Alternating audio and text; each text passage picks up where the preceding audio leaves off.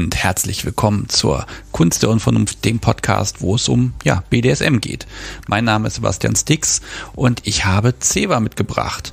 Sie ist 23 Jahre alt, switcht und ja, ich, ich klaue hier einfach ihre Formulierung, die passt am besten. Sie mag es, nützlich zu sein. Ob oben oder unten, das ist Verhandlungssache. Dann sprechen wir noch ganz viel über DS, was kommt, was fehlt und vor allem, wie Vertrauen gewonnen und erhalten werden kann. Und ich lerne außerdem, wozu man einen Damenstrumpf bei der richtigen Schuhpflege eigentlich braucht. Gleich geht's los. Noch eine Kleinigkeit in eigener Sache. Im November habe ich ganz viele Aufnahmetermine gemacht und ich werde auch ein bisschen durch die Republik reisen. Und das kann ich natürlich nur, weil ihr ja einfach den Podcast so wunderbar unterstützt, jeden Monat und immer wieder. Und weil ihr es haben wolltet, es gibt jetzt endlich die Möglichkeit, das auch per PayPal zu tun. Wenn ihr das also nutzen möchtet, dann schaut einfach auf kunstderundvernunft.de, klickt auf Unterstützen und da in dieser langen Liste an Möglichkeiten findet sich jetzt PayPal. Ob das einmal oder wiederkehrend ist, das bestimmt alles ihr selbst. Und ja, wieder eine Möglichkeit mehr, dass ich hier sorgenfrei podcasten kann. Und wie immer ganz, ganz vielen lieben Dank an die ganz tollen UnterstützerInnen, die hier wirklich jeden Monat dafür sorgen, dass ich das hier einfach machen kann. Dankeschön. So, aber genug davon. Los geht's mit Folge 57 mit Ceva.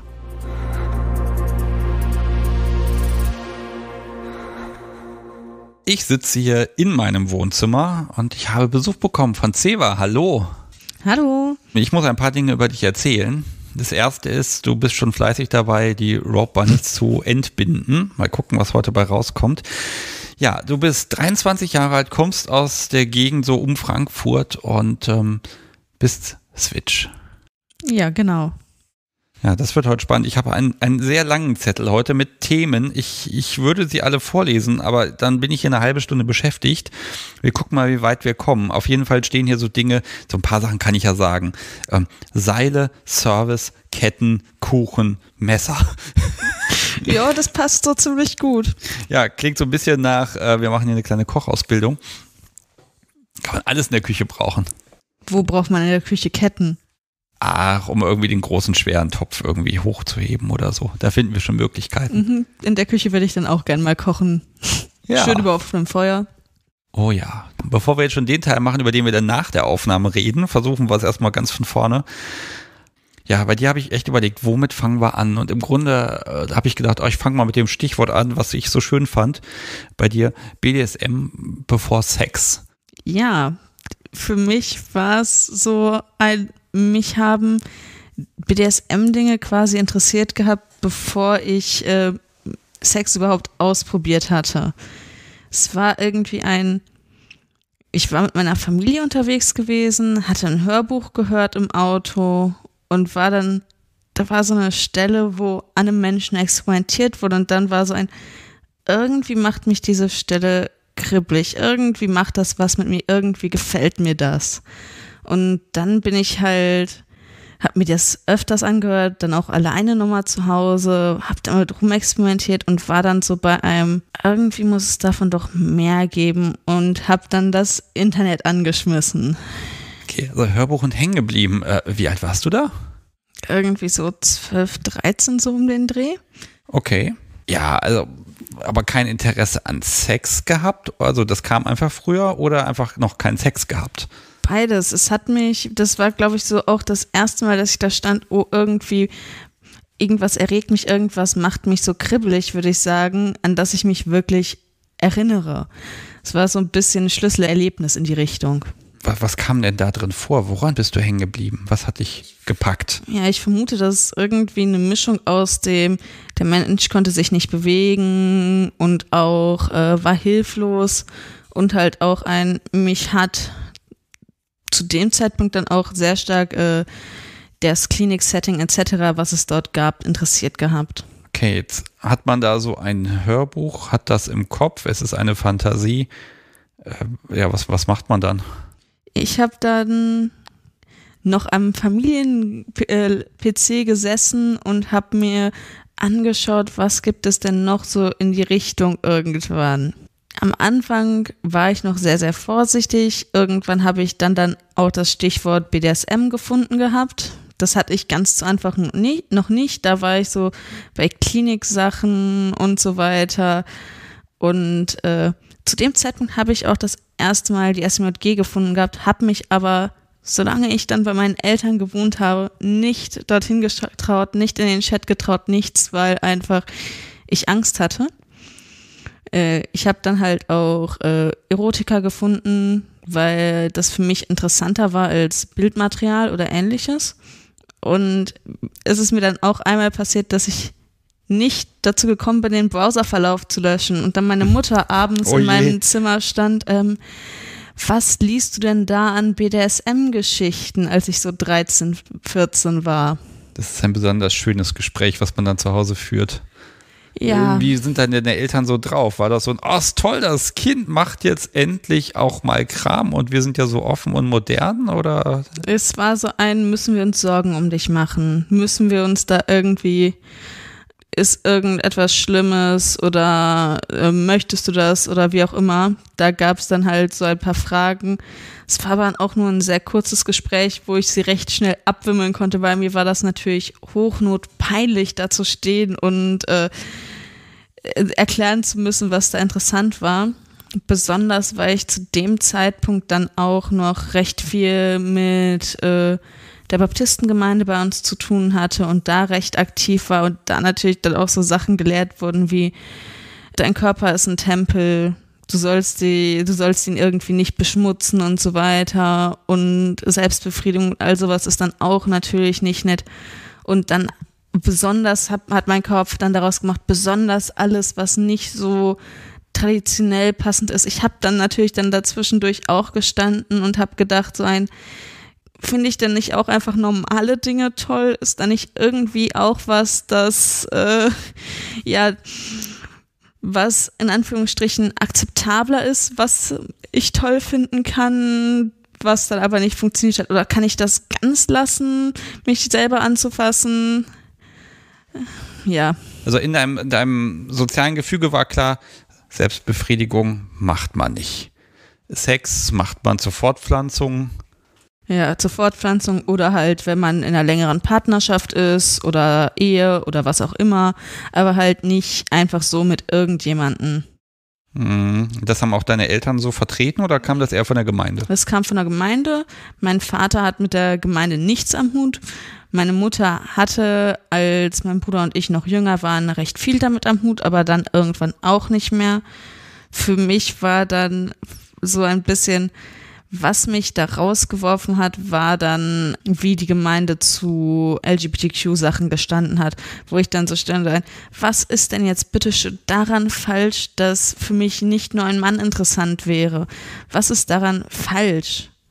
Warum sollte daran überhaupt etwas falsch sein? Wenn gesagt wird, Gottes Liebe, was kann dann an Liebe falsch sein? Ich hatte das im Podcast ja auch schon mal ein bisschen thematisiert, aber mhm. das hängt wirklich von der Gemeinde ab ist die eben offen und da ein bisschen liberaler oder eben wie in diesem Fall einfach mal nicht. Wobei äh, war das ein, das ist halt irgendwie sozial nicht in Ordnung oder stand da wirklich jemand an der Kanzel und hat gesagt, das könnt ihr nicht tun, dann kommt ihr in das Fegefeuer? Ich erinnere mich nicht mehr ganz, aber es war ein größeres, aufgezeichnetes oder auch an unterschiedlichen Stellen ausgestrahltes Programm, was die Kirche unterstützt hat, wo das dann auch mit bei war. Und das war, ich war sowieso schon so ein bisschen am Zweifeln an dem Ganzen und das war dann so der letzte Tropfen, der das fast zum Überlaufen gebracht hat. Also jetzt, jetzt hast du hast Google sei Dank, du hast ja rausgekriegt, es gibt BDSM, du hast die SMJG entdeckt. Ja, also, also wie und wo hast du dann, also wie bist du aktiv geworden? Wie hat das angefangen? Ich habe mich am Anfang, als bei meinen Eltern war, nicht wirklich dazu getraut, mich dort irgendwie einzuloggen. Ich habe, glaube ich, ein, zwei Mal da schon gestanden, hatte schon Nick eingetippt und war dann, habe mich dann doch nicht getraut, irgendetwas zu sagen oder mich wirklich in den Chat zu begeben. Das kam dann recht schnell, nachdem ich ausgezogen bin, weil da war ich beim, jetzt kann das niemand mehr sehen, jetzt kann das niemand mehr kontrollieren, jetzt interessiert es eigentlich niemanden mehr in meinem Umfeld, weil ich kann mir gerade ein vollkommen neues Umfeld aufbauen, weil ich bin halt zu dem Zeitpunkt ins Ruhrgebiet gezogen, um dort zu studieren. Kurz nachdem ich 18 war und habe dann angefangen, erstmal im Chat, so quasi ich bin zum Sommer, äh, zum Wintersemester, also irgendwie so September, Oktober umgezogen. Stand da auch so ein bisschen dann, ja, ich will auf dem Stammtisch. Ich habe jetzt drei zur Auswahl, die sind alle ungefähr gleich weit weg. Und aber traue ich mich da wirklich hin, wenn ich das noch nie ausprobiert habe, wenn ich mir gar nicht absolut sicher bin, ob das was für mich ist? Ich glaube, man kann, man sieht daran, dass ich jetzt hier sitze, dass ich mich dann mal hingetraut habe. Äh, definitiv. Also ich kann ja, ich kann auch mal sagen, äh, du trägst ja auch einen, einen ganz dezenten Halsreif. Ähm, du trägst ihn, du trägst ihn offenbar auch mit Stolz. Aber lass mich da nochmal noch mal ein bisschen zurückspringen. Ich meine, 13 und 18, das sind fünf Jahre. Und gerade in dem Alter ist das so wie jetzt 20 Jahre. Gar nichts.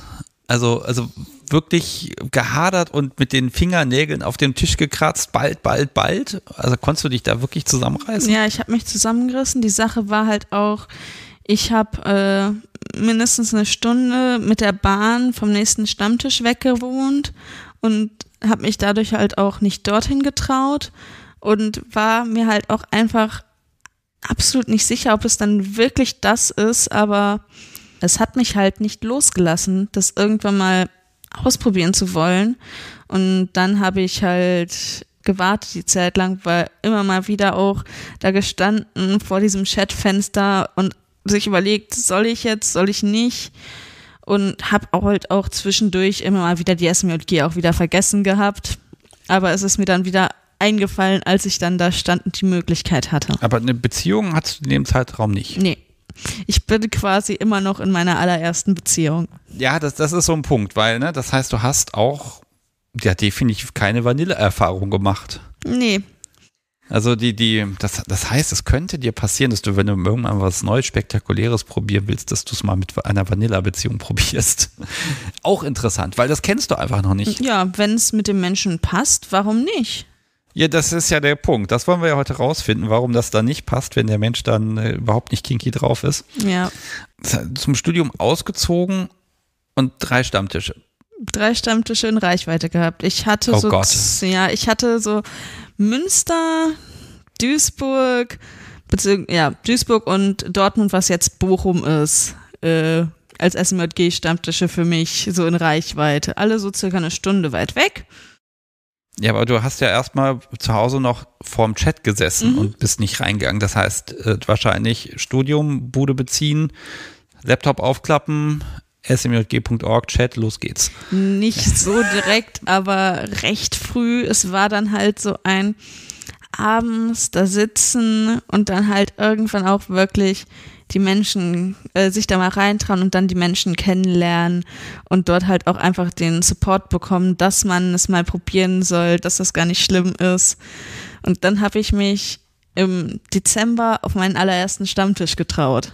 Okay, so, ich weiß, die SMLG ist da ja recht clever und macht dann zum Beispiel auch bei den Stammtischen, bevor es losgeht, nochmal für, für ja, Neulinge, machen die so, so eine kleine, eine halbe Stunde nehmen sich vorher Zeit. Hast du das in Anspruch äh, genommen? Nein, und äh, bei anderen Stammtischen habe ich, hab ich da quasi schon gesessen und habe mit da, wo auch Neulinge dazukommen, mitgemacht, aber dort dann nicht. Da war es dann halt ein, ich hatte dadurch dann auch Freunde schon in der SMG gefunden und hatte auch schon mit denen außerhalb äh, gequatscht und so weiter.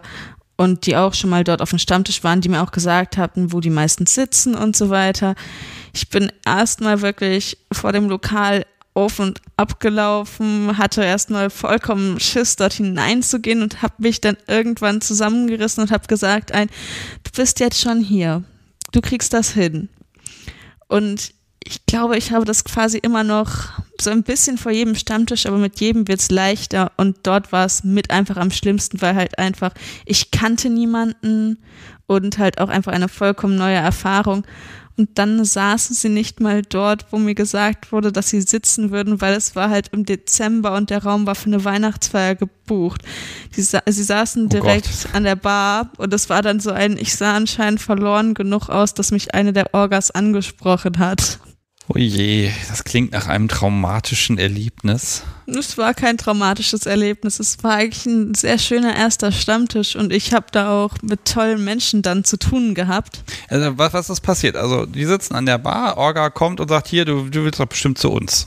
So ungefähr. Also, und dann ja, wird man platziert und ausgefragt, wie jetzt heute bei mir. Oder also, also ne, das, ich mag das immer ganz gern mal äh, auch nochmal wissen, wie so, so, so, so ein Erstgespräch auch aussieht, weil äh, jemanden, ne, ja, wo kommst du her? Was machst du denn? Spielst du oben oder unten? Wie alt bist du eigentlich? Ich glaube, damit kann man jeden erstmal verschrecken, wenn man Fragen stellt. Ja. Also wie, wie, wie hat das die Leitung dort gemacht? Ich glaube, ich habe mich erstmal hingesetzt und habe erstmal ein bisschen geschwiegen, weil ich halt zu dem Zeitpunkt noch gar nichts wusste, erstmal zuhören wollte.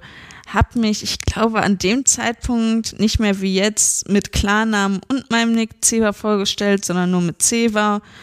Und ich glaube, wir sind mit als erstes in irgendwelche Diskussionen über das Studium hineingerutscht, weil wir dort mehrere Leute hatten, die halt am Studieren waren und auch dann ähnliche Dinge teilweise wie ich. Und dadurch war dann so ein bisschen das Eis gebrochen, einfach dadurch, dass man darüber geredet hat, wo alle so ein bisschen mitreden konnten, die da waren. Ich glaube, das ist ja immer so dieser Punkt. Also auf BDSM-Stammtischen wird jetzt nicht unbedingt über BDSM gesprochen. Ja. Das heißt, aber du, du, also der Nickname war schon da. Darf ich mal fragen? Ich frage das eigentlich nie, aber hat Ceva eine Bedeutung? Nee, hat es nicht. Es war irgendwann mal eine Freundin, die mich ärgern wollte, hat den Namen vorgeschlagen und er ist hängen geblieben. Und jetzt benutze ich ihn heute auch. Wir schreiben ihn auf ein Cover drauf. Ja, äh, selbst meine Partner benutzen ihn mehr als meinen Klarnamen. Selbst Partner, die eigentlich die Klarnamen von Menschen benutzen, benutzen diesen Namen, weil in meinem Umfeld, ich glaube, niemand außerhalb meiner Familie benutzt noch meinen Klarnamen. Ja, denn dein Klarname hat auch, also ich finde ihn sehr schön, aber er hat diesen, das, das können nur Mütter, diesen, hm, hm, hm, also das ist so Oh ein Name, Gott. den kann man so schön vorwurfsvoll durchs Haus rufen. Der, der ist sehr schön, weil der, ja, der, der ist passend gestaltet. Vielleicht wurde ja der Bezug darauf ausgesucht. Ich glaube nicht. Ähm, sag mal, aber jetzt, ich habe dich als Switch vorgestellt. Das, äh, wie hast du es geschafft, äh, rauszufinden, wie du überhaupt drauf bist? Weil du, man hat, du hast ja gesagt, du hast Fantasien. Da ist ja auch die Frage, welche Rolle ist meine? Passiv, aktiv? Also wie, wie bist du drauf gekommen zu sagen, das ist das, womit ich mich wohlfühle? Weil nur aus der Theorie heraus ist es ja nochmal auch sehr schwer. Man kann ja. Ja. nur gucken, welche Fantasien bewirken was bei mir. Ja, aus der Theorie habe ich rein eigentlich nur Fantasien, Fantasien auf der Subseite gehabt und habe auch damit einfach mit dem mit der Überzeugung, ich bin Sub angefangen und habe mir so gedacht, so ein, hey, das andere interessiert mich nicht wirklich und das hat sich dann ja irgendwann mal als falsch herausgestellt. Und um nochmal gerade ganz kurz auf das ein, auf Stammtischen redet man meistens gar nicht so viel über BDSM zurückzukommen. Ich habe lange genug dann in meiner Zeit im SMJG-Chat rumgehangen. Das müsste ich eigentlich mal wieder machen.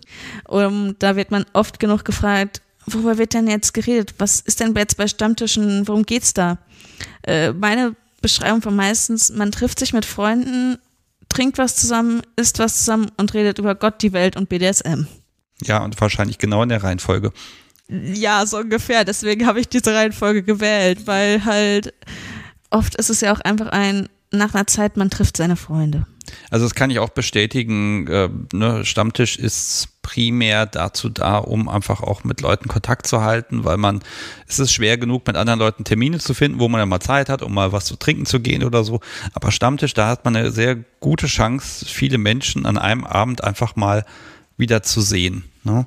Und dann passiert ja auch ganz viel. Und weil man ja was gemeinsam, wirklich BDSM als dieses verbindende Element hat, man eigentlich auch immer ein schönes Thema und auch immer wieder was Neues. Und das, das ist schon ganz gut. Ja, und wenn man eine Frage hat, hat man halt auch immer die Möglichkeit, dort zu fragen. Gab es Fragen, die du hattest? Ich weiß es nicht, aber wo, was ich sagen muss, dieses ein, ich bin nicht die Einzige, ich bin nicht alleine den, in Anführungsstrichen, komischen Dingen, die ich möchte. Das war halt was, was ich auf meinem ersten Stammtisch auch sehr stark einfach gemerkt habe. Ja, das ist so ein bisschen der Haken, weil das widerspricht ja diesem Podcast-Format, weil ich bin ja der Meinung, dass jeder, der BDSM erlebt, jeder ist individuell und diese ganze Kombination, die ist eigentlich immer einmalig. Selbst wenn drei Leute das Gleiche machen oder 300 Leute das Gleiche machen, dann machen sie es aus anderen Gründen und dann doch anders und sie empfinden was anderes dabei. Ich hoffe schon, dass dann jeder so ein bisschen alleine ist mit seinem Kink, damit man dann gemeinsam ganz viel Spaß haben kann. Ja, aber nicht, dass man der Einzige ist, der irgendwie in die Richtung irgendwas interessant findet. Ja, Konntest du ein bisschen gucken, also kon, kon, konntest du formulieren, was dich, äh, was dein Kink ist? Also zu dem Zeitpunkt, ich mag so ein bisschen vergleichen, wo sagst du, liegen heute deine Interessen und wo lagen sie vielleicht damals? Mm, zu dem Zeitpunkt war auf jeden Fall Fixierung dabei und es war auf jeden Fall geprägt aus der ganz allerersten Fantasien, viel im Klinikbereich, viel im Untersuchungsbereich dabei. Okay. Also das, das auch noch aufgrund des Hörbuchs. Ich glaube schon. Möchtest du eigentlich wissen, welches es war? Ja, bitte. Wir hatten zu dem Zeitpunkt äh, uns aus Versehen einen späteren Teil sogar noch aus einer Buchserie aus der Bücherei ausgeliehen für eine längere Fahrt. Äh, Atem ist faul, da gibt es ja sehr, sehr viele Bücher von. Und äh, das war dann der Teil das Zeitparadox. Wir hatten die vorherigen Teile gar nicht gehört. Und ja, ich habe es mir jetzt mal wieder vorlesen lassen von einem Partner und mittlerweile kickt mich diese Stelle quasi gar nicht mehr, aber es war für mich so ein bisschen der Aha-Moment. Klinik ist immer das Themengebiet, wo immer ganz viele sagen, ja, geh mir weg damit, das mache ich nicht. Ich gehe schon oft genug zum Arzt und Zahnarzt und überhaupt Klinik, das muss überhaupt nicht sein. Und das war ja bei dir so, so, so mit einer der Erstimpulse. Kannst du ein bisschen beschreiben, wo du, was, was beim Thema Klinik, was in dir etwas auslöst? Weil das mm, Zu dem Zeitpunkt habe ich es natürlich nicht betrachtet, aber jetzt so im Nachhinein beim drüber nachdenken, so, man hat natürlich ein Machtgefälle, das so ein bisschen aus dem Ganzen heraus schon kommt, weil halt einfach ein, in Anführungsstrichen, der Arzt weiß, was er tut, er weiß, was er macht, er weiß, was er möchte und er hat halt auch die Möglichkeit, diese Macht auszunutzen. Dann halt ähm, hat mich an dem Ganzen auch einfach ein, die Hilflosigkeit, die daraus entsteht, hat mich interessiert und halt auch einfach ja ausgeliefert sein dem Ganzen, weil ich glaube, die wenigsten Leute, okay, mittlerweile schon mehr haben hinterfragt, was ein Arzt mit ihm jetzt macht, ob das alles irgendwie seinen Sinn hat. Das heißt aber auch, ich kann mir vorstellen, dass jeglicher Arztbesuch von dir in den letzten Jahren irgendwie einen Beigeschmack hat. Ähm, ich hatte es einmal, bevor äh, ich zum Gynäkologen bin, dass mir genau an dem Abend vorher ein, einer meiner Partner auf die Idee kam, mir genauso einen Floh ins Ohr zu setzen. Und den auch noch, ja, das, da war ich dann etwas, das fand ich etwas böse, gemeint von ihm. Ja, das notiere ich auf meine Ideenliste. Sehr gut. Vor Arztbesuchen wahnsinnig machen. Mhm. Wenn man jetzt als, als Frau mhm. zur SMJG geht, ist da, ja, es darf da nicht so krass gebaggert werden. Aber hat es denn lange gedauert, bis du angefangen hast, Dinge zu tun mit Menschen? Äh, ein halbes Jahr nochmal, nachdem ich auf meinem ersten Stammtisch war, habe ich mich das erste Mal auf einem Fesseltreff getraut gehabt und war dann, es war eigentlich jemand, der was ausprobieren wollte und war, hast du da schon mal was gemacht? Ich habe zu dem Zeitpunkt, ich glaube, irgendwie so eine non-committal, ähm, eine Antwort gegeben, die nicht so ganz ja, nicht so ganz nein war und äh, bin dadurch das erste Mal dazu gekommen, dass jemand so ein bisschen an mir rumgetüttelt hat. Ah, doch, stimmt. Ich hatte davor schon einmal, hatte mir jemand gezeigt, wie ich ein Fotomomo an mir selber bindet. Deshalb habe ich gesagt, äh, ja, ich habe da schon mal was gemacht. Wusste der Mensch, dass das das erste Mal war? Nein. Okay, also ganz cool geblieben. Ja, ja, mach mal. Oder, mhm. oder ja, kannst du machen, das ist okay. Ja, so in die Richtung schon. Wie war das denn in dir? Plötzlich ist da jemand, der an dir rumtüttelt, dich anfasst und also ich gucke nochmal auch gerade, weil das ja mit auch eine der ersten sexuellen Begegnungen quasi sein, gewesen sein muss. Mm, Beziehungsweise war das überhaupt sexuell? Zeit, nee, nicht wirklich sexuell. Das war halt in dem Fall einfach nur ein sehr angenehmes Gefühl und was mir ein bisschen was an äh, Ruhe halt einfach auch gebracht hat. Das war natürlich auch äh, aufregend, es mal auszuprobieren, aber es war halt so auch vom Setting her einfach ein Leuten was zeigen, was ausprobieren. Es war ein öffentlicher Raum, es war dann noch jemand dabei, der da war, oh, darf ich davon mal ein Foto machen und so weiter. Also es war einfach ein Ausprobieren und nicht viel mehr. Ich vermute, dass in einer anderen Atmosphäre könnte, äh, ist sowas definitiv anders, aber da war es einfach ausprobieren, vielleicht ein bisschen schönes Gefühl, Spaß haben dran, aber nicht mehr. Ja, aber wie bist du denn damit umgegangen? Ich meine, du gehst zu SMG und in dir brodelt es ja. Da du, man will probieren. Ähm, da steckt auch Sexualität einfach mit drin, die jetzt auch sich mal irgendwie Bahn brechen will. Also man will ja mit mal irgendwas mit was anfangen und man will ja nicht immer nur warten. Also war das deine Geduld? Die traue ich dir allerdings fast nicht zu. Oder also, was, was hat dich so daran gehindert, äh, zu sagen, ist mir jetzt egal, ich suche mir jetzt irgendeine Person und dann wird jetzt endlich mal probiert, ich will jetzt endlich wissen, wie das ist. Ich meine, nach so langer Zeit. Für mich war es halt einfach so ein, ich habe so ein bisschen auch drauf gewartet, jemanden zu finden, mit dem so etwas hätte passen können. Und da war ich dann halt bei einem, ich habe oft genug den Hinweis gegeben den Leuten, dass äh, es meistens dann kommt, wenn man äh, es nicht denkt und einfach auch daher kommt, wenn man einfach Leute kennt und Freunde hat in dem äh, in der Szene und so weiter. Und das meistens Suchen viel weniger zum Erfolg führt als einfach selbstbewusst da sein. Und das hat sich dann halt auch so ergeben. Jetzt bin ich nur leider auch ein bisschen schon bei einem was kam jetzt vorher und was kam danach, weil da sind so nacheinander immer ein paar mehr Ereignisse auch gekommen. Dann durchbrechen wir doch mal die Chronologie. Mhm. Diesen Moment. Also doch, es gibt noch so ein Ereignis, wo ich sage, Mensch, also als du mal dann tatsächlich angefangen hast, mit jemandem zu spielen. Erstmal mag ich wissen, oben oder unten? Äh, definitiv unten. Da hatte ich absolut noch keine Idee, dass ich irgendetwas oben hätte machen können. Mhm. Also gerade was du eben auch gesagt hast, Machtlosigkeit und auch ne, Fixierung und diese ganzen Ideen. Und jetzt kommt Tag X, wo das dann auch passiert. Ne? Ich frage ich ja in jeder Folge immer so ein bisschen. Du wusstest, dass ich das wissen will. Ähm, äh, was, was ist passiert und vor allem war es dann so, wie dann die Fantasien in den letzten acht Jahren das suggeriert haben? Ähm, das war ein, ich hatte schon recht lange mit jemandem im SMG-Chat geschrieben gehabt und ich kann jetzt schon sagen, das ist immer noch mein Partner, das ist mein Wolf, der immer noch dabei ist. Und äh, es gab dann irgendwann das Zelten, eine größere Veranstaltung mit, keine Ahnung, wie viele zu dem Zeitpunkt. Und dann war halt ein, ich hatte so eine Tendenz, diese Person ein bisschen zu ärgern und durfte mir anhören, ja, du hast dir mittlerweile schon, keine Ahnung, ich glaube, es waren zehn Schläge mit dem Pedal oder so eingehandelt. Und ähm, ja, ich hatte dann halt. Nimmst du mal die Finger da weg? Da, Seil, bitte. Liebes Publikum, das Klackern, das war jetzt der Button. Ich sollte die Geschenke erst nach der Folge ausgeben. Mit Seil darfst du machen, was du willst. Das macht keinen Krach. ja, ich habe es schon irgendwann kommen sehen, dass es passiert. Ich kann die Buttons auch noch verwahren. Ja, ich leg sie mal einmal weg. Ja. ja. Okay, also im Zelt.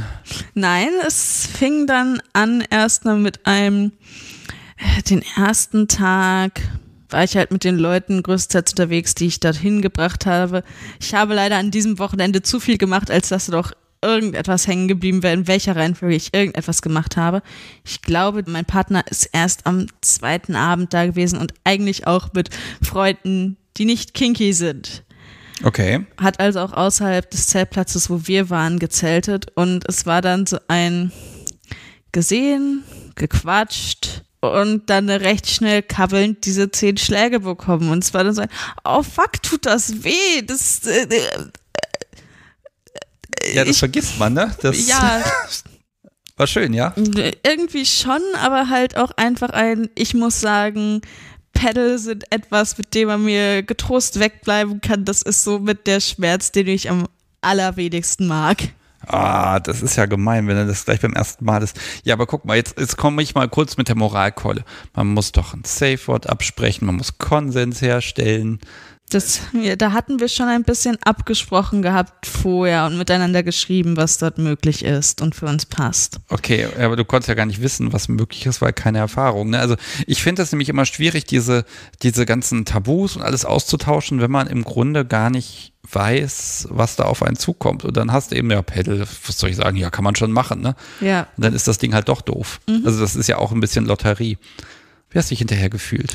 Es war gut, nur es war halt einfach sehr, sehr viel, was ich an diesem Wochenende gemacht habe und wo ich äh, ja hin und her gesprungen bin.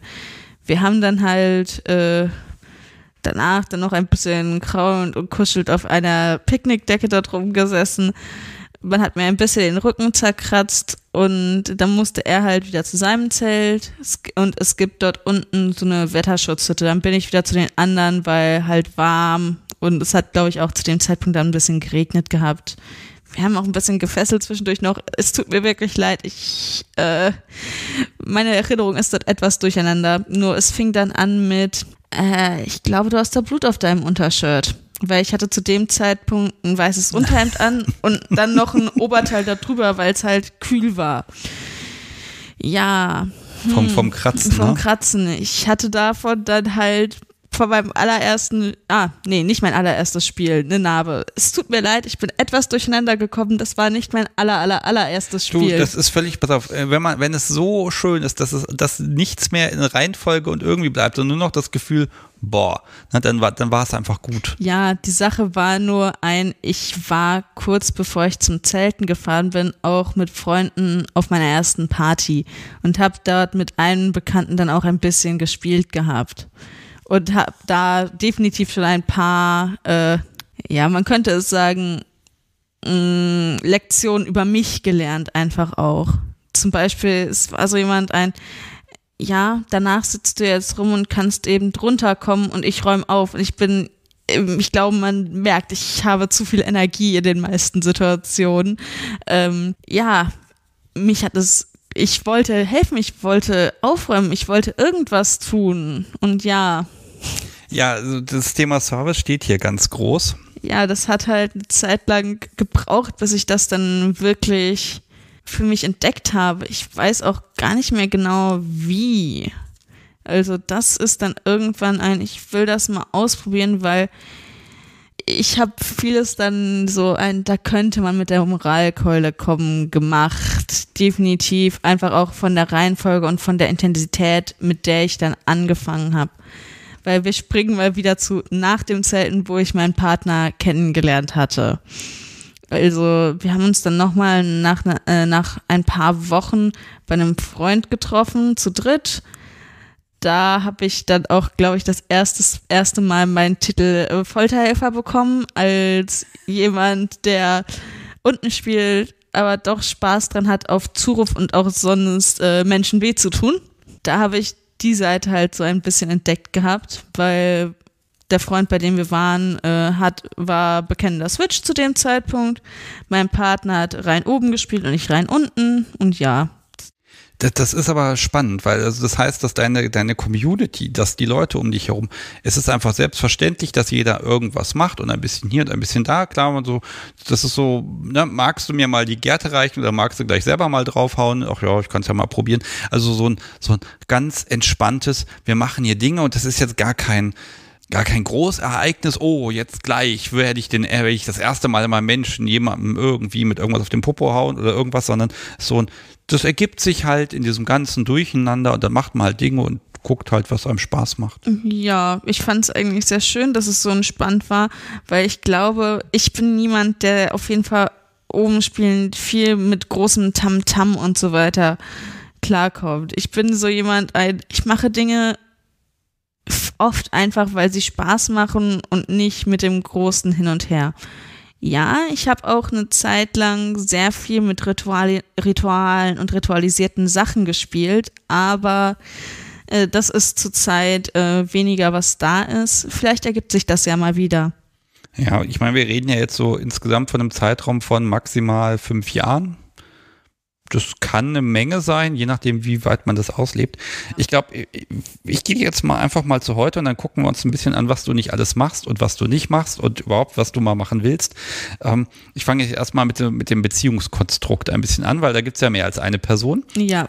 Ähm, also klär mich erstmal auf, wie, ich versuche das jetzt mal als Diagramm aufzuzeichnen. In der Mitte male ich jetzt mal ein Zewa und dann umkringel ich das schön. Mhm. So. Und jetzt gucken wir mal, welche Arme dieses Objekt in der Mitte bekommt? Zurzeit so zwei bis drei Arme.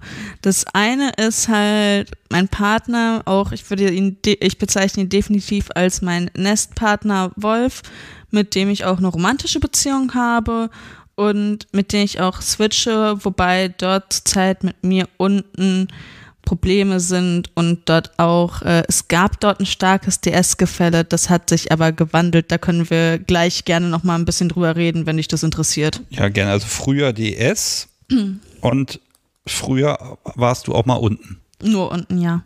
Nur unten, aber ja. früher halt. Mhm. Mhm. Für ihn trage ich auch das Halsband, was ich hier trage, immer noch, weil ich mich definitiv auch noch da mit ihm verbunden fühle und auch zum Teil äh, und ich auf jeden Fall auch sagen würde, dass ich seins bin. Genauso wie er meins ist. Okay. Ähm, äh, Bleibe ich doch noch mal kurz da hängen. Also dein Einstieg, aber jetzt im Moment, wie, wo seid ihr jetzt? Also wer mhm. spielt wie mit wem oder spielt ihr vielleicht gar nicht mehr miteinander? Doch, wir spielen miteinander. Wir würden auch gerne wieder in DS-Richtung miteinander spielen, aber da ist halt äh, Vertrauen kaputt gegangen und äh, zurzeit bin ich dort größtenteils als Top oder auch teilweise als Dom unterwegs. Okay. Ähm, zu Wolf kommen wir gleich, dann nochmal ein bisschen mehr im Detail. Ja. Äh, welche Arme hat mein Diagramm hier noch? Äh, ich mal übrigens in Pink. Ja, es gibt äh. Daniel. Das mhm. ist der Mensch, mit dem ich zurzeit sehr viel spiele, mit dem ich auch munter durch die Weltgeschichte switche. Ja. Ähm, und dann gibt es noch eine dritte Person, mit der sich auch so ein bisschen was Switchiges anbahnt. Ich schreibe jetzt auf, dritte Person, Singular. Mhm. Ähm.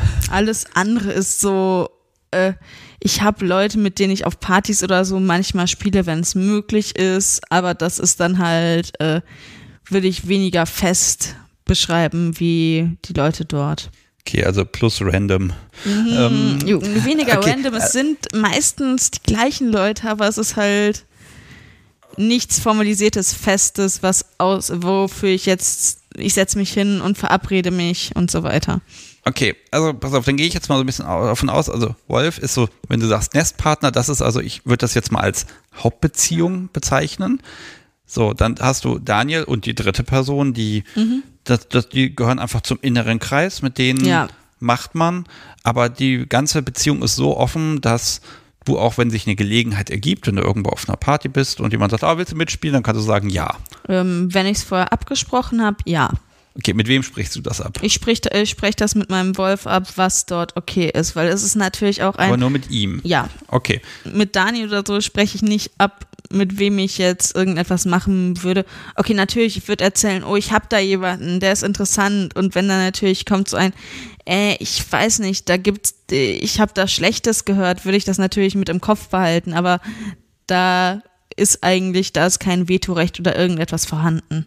Aber trotzdem generell ist so die Möglichkeit da, zu gucken, was möchte ich machen, wie, wo, mit wem. Ja. Und also die Beziehung ist jetzt, ist jetzt einfach nicht geschlossen. Ne? Genau. Und ähm, da es ja auch die erste Beziehung ist, ähm, ja, vielleicht mag ich da nochmal fragen, ähm, ich sag mal, so schnöden Vanillasex, machst du das? Mm, ich weiß nicht, ob man, äh, die Sache ist halt, ab wann ist es Vanilla, ab wann ist es dabei, das ist halt so etwas, das für mich ein bisschen schwierig zu definieren ist, weil ich halt auch wenig Referenzrahmen habe. Mhm. Okay, ich sage jetzt mal einfach ganz schnöder rein raus Sex, einfach weil es gerade mal schön ist. Also mit wem und gibt es das überhaupt? Mm, gibt mir relativ wenig, aber wenn, dann ist das was, was ich mit meinem Wolf machen würde. Bei dem, äh, bei Daniel ist es mehr so eins, äh, etwas geboren aus, wir haben intensive Dinge zusammengetan und wir müssen das jetzt beide irgendwie abreagieren das kommt immer bei solchen Geschichten, kommt das immer so ein bisschen aus dem Publikum als Rückfrage und ich mag das natürlich dann auch immer nicht vergessen, äh, weil das, das scheint auch da nochmal wichtig zu sein. Ja, es ähm, ist zwar wenig und es ist was, was mich wenig interessiert, aber es ist halt was, das möglich ist. Manchmal ist es halt einfach ein, dass man auch durch körperliche Intimität irgendwie Nähe und so weiter haben möchte. Vielleicht mag ich auch nochmal wissen, was ist das, was dich interessiert? Also was ist das Ding, wo du sagst, das ist das, das verschafft mir diese, dieses Glücksgefühl, diese Befriedigung. Also, was ist es bei dir? Was macht dich happy? Das kommt drauf an. Das kommt drauf an, wann du mich fragen würdest. Zurzeit bin ich da definitiv bei, das äh, ist zurzeit was, das ich über Schmerzen bekomme. Hättest du mich vor einem Jahr, anderthalb gefragt, hätte ich dir definitiv gesagt, Service und Dinge für jemanden tun, für jemanden gut sein und sowas. Aber da hat sich halt dadurch, welche Möglichkeiten da sind, viel gewandelt. Ja, ich glaube, das ist der Punkt, diese, diese Möglichkeit, ganz viele Erfahrungen zu machen, gibt aber auch die Möglichkeit, sich ganz viel zu entwickeln. Und auch was wir heute besprechen, das muss in einem halben Jahr nicht mehr aktuell sein. Genau das. Das, das finde ich aber ja gerade schön, weil das ist ja einfach dieser Findungsprozess. Normalerweise bohre ich ja immer ein bisschen rum und gucke, ja, wie hast du rausgefunden, ob du Sub oder Top oder irgendwie Switch ich oder kann sonst dir was bist. erzählen, wie ich Und- rausgefunden habe, dass ich switchen kann und switchen möchte. Ja, bitte. Ähm, es war eigentlich einfach ein, ich wurde von einem Partner gefragt, ob ich denn mal aktiv dies oder das mit ihm machen könnte. Ich weiß, was ich in der ersten Session gemacht habe. Ich weiß, bin mir ziemlich sicher, dass ich äh, mit Wachs gespielt habe oben und dann war dann halt so ein Ja. Äh, war interessant, möchte ich gern wieder machen. Das habe ich dann erst so auf Zuruf gemacht. Dann habe ich irgendwann noch angefangen, selber zu entwickeln, was mich da interessiert. Und dann bin ich irgendwann auch dazu gekommen, ja, ich will das mal ausprobieren. Und was jetzt recht neuer auch dazu gekommen ist, sehr viel halt Reaktionsfetischismus würde ich es benennen. Und dadurch dann halt auch ein, ich habe früher gesagt, ähm, mich, für mich ist oben spielen nichts Sexuelles. Das hat sich mittlerweile auch definitiv geändert, einfach weil äh, sich geändert hat, wie stark ich auf Reaktionen reagiere. Das klingt nach einem, einer Orgasmusfähigkeit durch Reaktion. Gar keine Orgasmusfähigkeit leider. Also damit habe ich, äh, das ist was, wo ich absolut keine Erfahrung mitgemacht habe, einfach weil es bisher nichts ist, das irgendwie funktioniert hätte. Ja, aber das ist ja der Punkt. Also die Frage ist ja, was, wann, wann fühle ich mich befriedigt? Ne? Da kann ich Ja. auch sagen, ja, ein Orgasmus, der kann mich befriedigen, aber auch dieser unfassbare Machtrausch, wenn ich dann da am Machen und tue mir, das kann mich persönlich, Ja. das kann ein unglaubliches Glücksgefühl geben über Tage. alles gut, alles einfach, es kann einem nichts aus der Bahn werfen. Das, ja, das kenne ich, das habe ich einfach auch oft, wenn ich irgendwo an Grenzen gespielt habe zurzeit. Wenn ich wirklich danach stand, ich bin jetzt einfach fertig, ich habe gemerkt, was mein Körper kann, bin vielleicht sogar noch mal ein Stückchen drüber hinausgegangen und habe das mit jemand zusammen machen können. Und sonst war es halt auch einfach sehr viel einfach ein wirklich sehr, sehr klassisches Dienen, mich um jemanden kümmern und so weiter, was mich in den Zustand gebracht hat.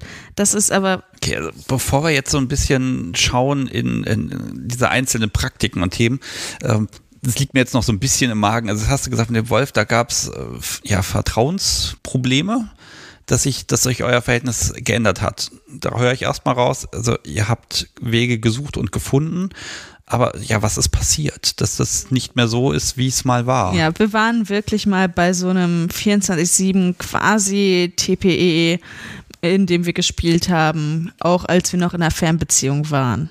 Wie sah das aus? Weil gerade TPE ist ja schon mit einer Menge Machtübergabe verbunden. Ja, ich habe äh, bei definierten Sachen habe ich explizit um Erlaubnis fragen müssen und habe dort auch dann äh, das mit ihm abgesprochen und sonst bei vielen Dingen hatte ich dann halt ein, ich solle in seinem Sinne handeln. Ja, das benutze ich auch gerne, diese Formulierung. Ja, es ist halt so ein, sorry, es ist nicht möglich, jemanden in allen Aspekten vollkommen zu kontrollieren.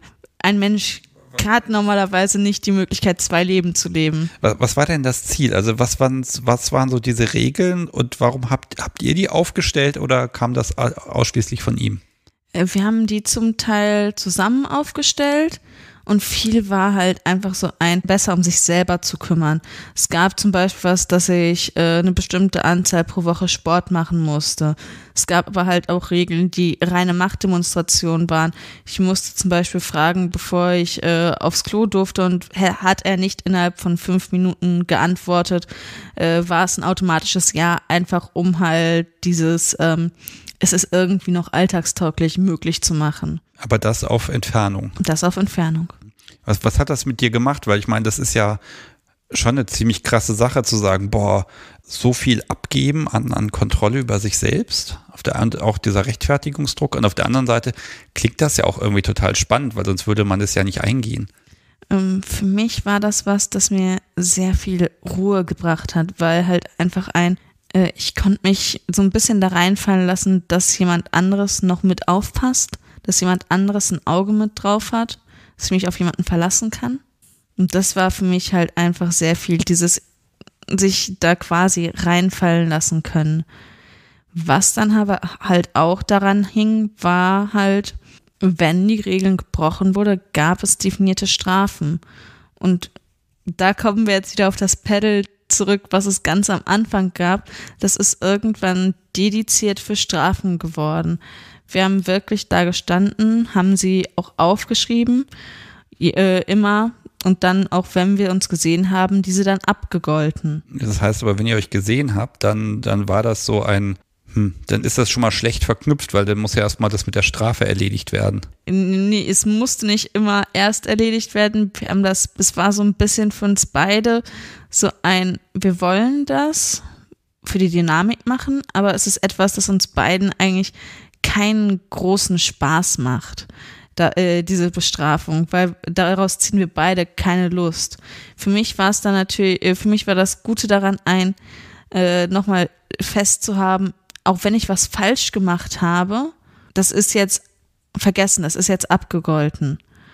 Das war für mich das in Anführungsstrichen Schöne daran und auch es war für mich so eine Art von er kümmert sich um mich. Das bedingt natürlich, äh, man baut ein schlechtes Gewissen auf und baut es dann wieder ab. Aber es ist dann Teil der Dynamik, ähm, dass du eine gewisse Zeit mit diesem ähm, Ich habe Makel an mir rumrennen musst und brauchst ihn dann, um das loszuwerden. Ne? Ja, nee, es war am Anfang schlimmer als äh, später, aber die Sache ist halt einfach ein, ähm, wir haben vorher probiert, äh, du hast was falsch gemacht, du geltest, geltst das an dir selber ab. Und das war was, das für mich absolut gar nicht ging. Ich kann mich nicht selber bestrafen. Ich kann auch quasi mit mir selber kaum mit Schmerzen oder so spielen.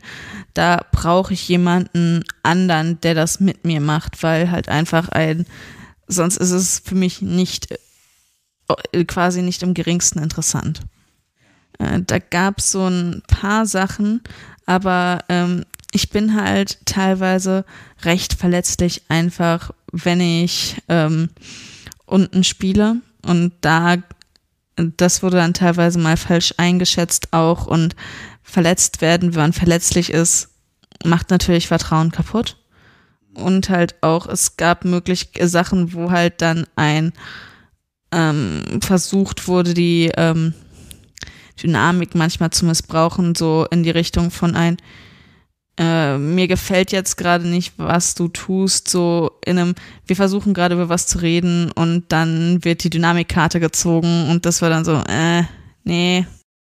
Die Sache ist halt einfach ein, man hat immer noch irgendwie auch ein Leben als Paar und auch besonders dann, wenn man dann weitergeht und sagt, wir möchten zusammen wohnen, wir möchten zusammen dies, das, jenes machen, dann sind es teilweise halt einfach Entscheidungen, die nichts mehr mit der Dynamik zu tun haben. Äh, wie hat denn die Dynamik mit dem Switchen zusammengepasst? Ähm, die Sache war halt einfach ein, es war recht viel im Sinne von, ähm, ich möchte das gerne und es war dann äh, von ihm ausgehend. Also es war zum Teil halt auch Service. Und dann auf der anderen Seite war es dann halt auch ein, dass sich die Regeln haben sich dann gewandelt zu einem, ich kündige Dinge an, anstatt danach zu fragen. Es hat einfach irgendwie für mich im Kopf und für uns im Kopf trotzdem gepasst. Ich kann nicht genau sagen, was dafür funktioniert haben muss oder nicht funktioniert haben, damit das im Kopf passt aber es hat zu dem Zeitpunkt gepasst. Also ich habe wirklich eine Zeit lang gesagt, ich bin in einer 24-7 TPE-Beziehung, aber ich switche auch. Ja, das muss man dann erstmal erklären. Ne? Ja. Ähm, okay, aber da merkt man, also er hat dann auch irgendwann ein bisschen locker gelassen. Also hattet ihr so, so ein Krisengespräch, das geht so nicht mehr, das funktioniert nicht? Oder, oder seid ihr da eher so ja, intuitiv rausgegangen aus diesem Konstrukt? Wir sind halt, es ist irgendwann dann immer weniger geworden bei manchen Sachen im Sinne von ähm, sind weniger Regeln geworden, weil halt ich kann mit Regeln nicht viel anfangen, wenn diese Regeln nicht kontrolliert werden. Wenn ich selber da stehe, ja, ich habe XY jetzt leider falsch gemacht, bitte schreib mir jetzt das und das dafür auf. Das ist nicht meine Art. Weil, sorry, nee, ich du bin willst nicht, ja, du willst ja die Kontrolle. ich, ja, ich möchte, dass jemand da ist und auch damit drauf achtet, weil halt einfach ein, sorry, sonst könnte ich da selber stehen und mir sagen, böse, böse, böse, du, du, du, machst du nicht wieder. ja, es bringt mir halt nichts. Hm, Also auch diese, dieser unmittelbare Einfluss. Ne? Ja. Nein, äh, Im Kopfkino klingt es sehr schön, wenn man sagt, diese Regel gilt jetzt für dich. Und wenn du das nicht tust, dann wird das entsprechend sanktioniert. Und dann entsteht so ein Automatismus. Und dann ist aber, ich glaube, die Hauptkomponente vom BDSM, die geht dabei verloren, nämlich Aufmerksamkeit. Die, dieses Zusammen was machen. Es ist nicht nur einer auch. Meistens. Was, was ich halt auch immer interessant fand, ist so ein, man muss immer bedenken, welche Konsequenzen Regeln auch haben. Und wie gehe ich damit um, wenn ich sage, jemand muss zu Hause immer nackt sein? Was mache ich, wenn dann plötzlich die Eltern vor der Tür stehen? Ja, gut, das sind dann die Unwägbarkeiten und dann kommt ja dann diese wunderschöne Regel, dann handelst du in meinem Sinne und in meinem Sinne wäre es, dass du dir natürlich was überziehst. Oder, so oder sowas wie ein, du musst zu Hause an der Couch angekettet sein und dann so ein, wer holt jetzt meinen Kaffee? Ja, das, das ist eine böse Falle. Das stimmt. Das artet immer also, fixieren und zu sagen, da ist dein Platz, artet immer in äh, meine Dienstleistung dann aus. Ja, ich hole ein Wasser. Ja, ich hole den Kaffee selber. Ja, ich. Oh. Ja, genau Ne? das. Äh, ja, äh, da ist, ich glaube, das, man muss das aber einfach ausprobieren, um dann zu spüren, auch äh, gerade auf Top-Seite, wie anstrengend das ist und welchen Anspruch das hat. Und auf der anderen Seite, aber wenn du so eine Reaktionsfetischistin bist, ne, dann ist es auf der anderen Seite ja auch wieder toll zu sehen, na, guck mal, jetzt hat sich Top-Down Kopf und Kragen geregelt, jetzt muss er springen und dies und das und jenes. Man lernt ja unglaublich viel. Und ich, ich glaube, diese Regeln, also gerade so ganz strenge Regeln wie hier angekettet neben der Heizung irgendwie, das kann man alles machen, aber ich glaube, das muss man dediziert dann machen und sagen, hier, äh, wir sind ein Wochenende weg, da machen wir das. Und da macht das auch richtig Spaß und das ist richtig bösartig. Ich kann auch nochmal eine Regel teilen, die wir für eine lange Zeit lang hatten. Ich musste für Sprachen außer Deutsch in seiner Gegenwart und auch im Schreiben mit ihm nachfragen. Ihm hat es erstmal gestört. Ich hatte am Anfang sehr, sehr viel an Französisch, das ich noch mit drin hatte aus der Schule. So ein paar äh, Sätze, die ich immer mal wieder mit einfließen lassen habe. Es hat sich dann, es ist eigentlich, war das nur so ein, ja, ich möchte eine, äh, ich möchte eine Entschuldigung haben, um dich schlagen zu können. Und es ist dann hängen geblieben. Hm, ist aber schade. Ja. Bonjour, Monsieur, ist doch, ist doch wunderschön. Das klingt auch gleich er, melodisch. er mag halt kein Französisch. Tja. Gut, das, wär, das wäre jetzt der Punkt, wo man jetzt mal gucken könnte, inwieweit du auch äh, jemand bist, äh, ja, die provoziert. Also so, so gewisse Brad-Art und Weise, ist das in dir verankert? Es kommt immer drauf an. Ich, was ich auf jeden Fall nicht kann, ich kann meine dummen Sprüche nicht zurückhalten und ich bin definitiv manchmal, wenn ich Lust drauf habe, lege ich Dinge auch gerne aus. Aber ich bin niemand, der irgendwie in Anführungsstrichen bos, äh, boshaft irgendetwas macht. Ich bin nicht jemand, der steht und keine Ahnung, Salz in den Kaffee packen würde. Ja, das ist ein schönes Beispiel. Naja, aber ne, damit hat man ja auch so ein bisschen Kontrolle und kann sagen, hier, jetzt muss Top aber reagieren. Was dann natürlich schwierig ist, wenn man gleichzeitig switcht. Ist das jetzt gerade jemand versucht, mich zu topsen? Oder ist das jemand, der gerade versucht, eine Reaktion zu bekommen als Brad? Oh Gott, es ist ja kompliziert, ja. Hast du völlig recht. Ich glaube, da muss man dann mit Fähnchen arbeiten oder mit Schildern. Hier, halt doch mal das Schild hoch. Was ist denn das gerade? Das hast du ja gesagt, du bist inzwischen top. Das, das hat dann einfach gewechselt, um, ja, um da Stabilität reinzukriegen oder weil ihr einfach danach die, war? Oder die wie, wie Sache kommt ihr dazu? in dem Fall war halt ein, ich komme mal mehr und mal weniger gut runter. Und in Zeiten, wo ich halt einfach bei der Person nicht wirklich nach unten komme, bin ich halt mehr auf der Top-Seite, besonders weil es uns beiden auch wichtig ist, miteinander was machen zu können. Wie, wie bist du dann als Top? Weil da könnte man jetzt ja theoretisch sagen, ah, das ganze TPE 24-7, das war ja so anstrengend, das machen wir jetzt umgekehrt. Nee, das ist gar nicht meins. Ich, ich habe auch recht wenig mit Service oder ähnliches am Hut als Top. Ich bin viel einfach ein, ich tease gerne Leute an habe ich da jetzt was gemacht? Oh, das tut mir leid. Musst du, aber da kann ich mich jetzt ja gerade gar nicht mehr drum kümmern. Und halt auch einfach gerne ein, ich tue Menschen weh, ich sehe, wie sie reagieren und dadurch halt auch recht viel an was ich habe einen großen Teil Service mit drin, das ist immer so, weil halt ein Menschen reagieren mit am schönsten, wenn es etwas ist, das sie irgendwie dann doch noch mögen. Komm, ich lass dich jetzt. Reden wir mal über Service. also du, die Vokabel hast du jetzt so oft so, so subtil untergebracht, was ist denn jetzt für dich Service? Ich, ich, kann vielleicht mal beschreiben, du trägst nicht nur ein Halsreif, du trägst auch ein Oberteil, was noch so ein, so ein Hauch von. Ähm, das ist nicht extra gewesen. Nicht extra gewesen, aber das passt so schön. Also, liebes Publikum, stellt euch diese, diese Mate-Kleidchen vor, die haben ja immer so ein bisschen weiße Spitze da am, am Ausschnitt. Und auch da, du hast ein Oberteil schwarz und da ist dann auch so ein bisschen was Spitzenartiges. Auch wenn das keine Absicht war, offenbar hast du so viel davon im Schrank, dass du zufällig heute sowas anhast. Ich habe das das erste Mal an, das ist doch recht neu, also. Aber ja, schwarz ist schon mein Thema. Und ich habe auch genug an schwarz-weißen Sachen. Ja, also ist das der Service im Bereich eher Made oder eher eine andere Art von Service, die dir Spaß macht? Service ist für mich eigentlich alles, was mit Menschen zu tun hat und was denen das Leben leichter macht. Was, wo, wo ich wenig von abgewinnen kann, ist sowas wie ein, ich stelle mich jetzt hier hin und putze und du stehst dann da später da, ja, hast du gut gemacht. Ich möchte schon was haben, wo ich mit Menschen involviert bin. Also sei es sowas, ich bin jemand, der gerne sowas macht wie Getränke servieren, Essen servieren. Ich helfe Leuten zum Beispiel auch, wenn sie Hilfe wollen beim Anziehen. Ich bin jemand, der gerne Schuhe putzt, also Bootblacking in die Richtung Sachen macht oder auch halt äh, sexuellen Service auch, aber das deutlich weniger als das andere. Das andere kommt halt immer, wenn ich äh, entspannt bin, kommt das quasi mit raus. Es kommt auch oft genug bei Freunden mit raus. Es war äh, ein Filmabend mit ein paar Freunden vom Stammtisch, noch im Ruhrgebiet und ein wir saßen halt auf einem Bett, vor uns stand so, eine, so ein Tischchen mit Knabberzeugs und Trinken und ich habe quasi den Leuten immer wieder alles angegeben und habe da geholfen und es wurde mir quasi gesagt, ein fürs nächste Mal müssen wir dir ein Maid-Outfit besorgen.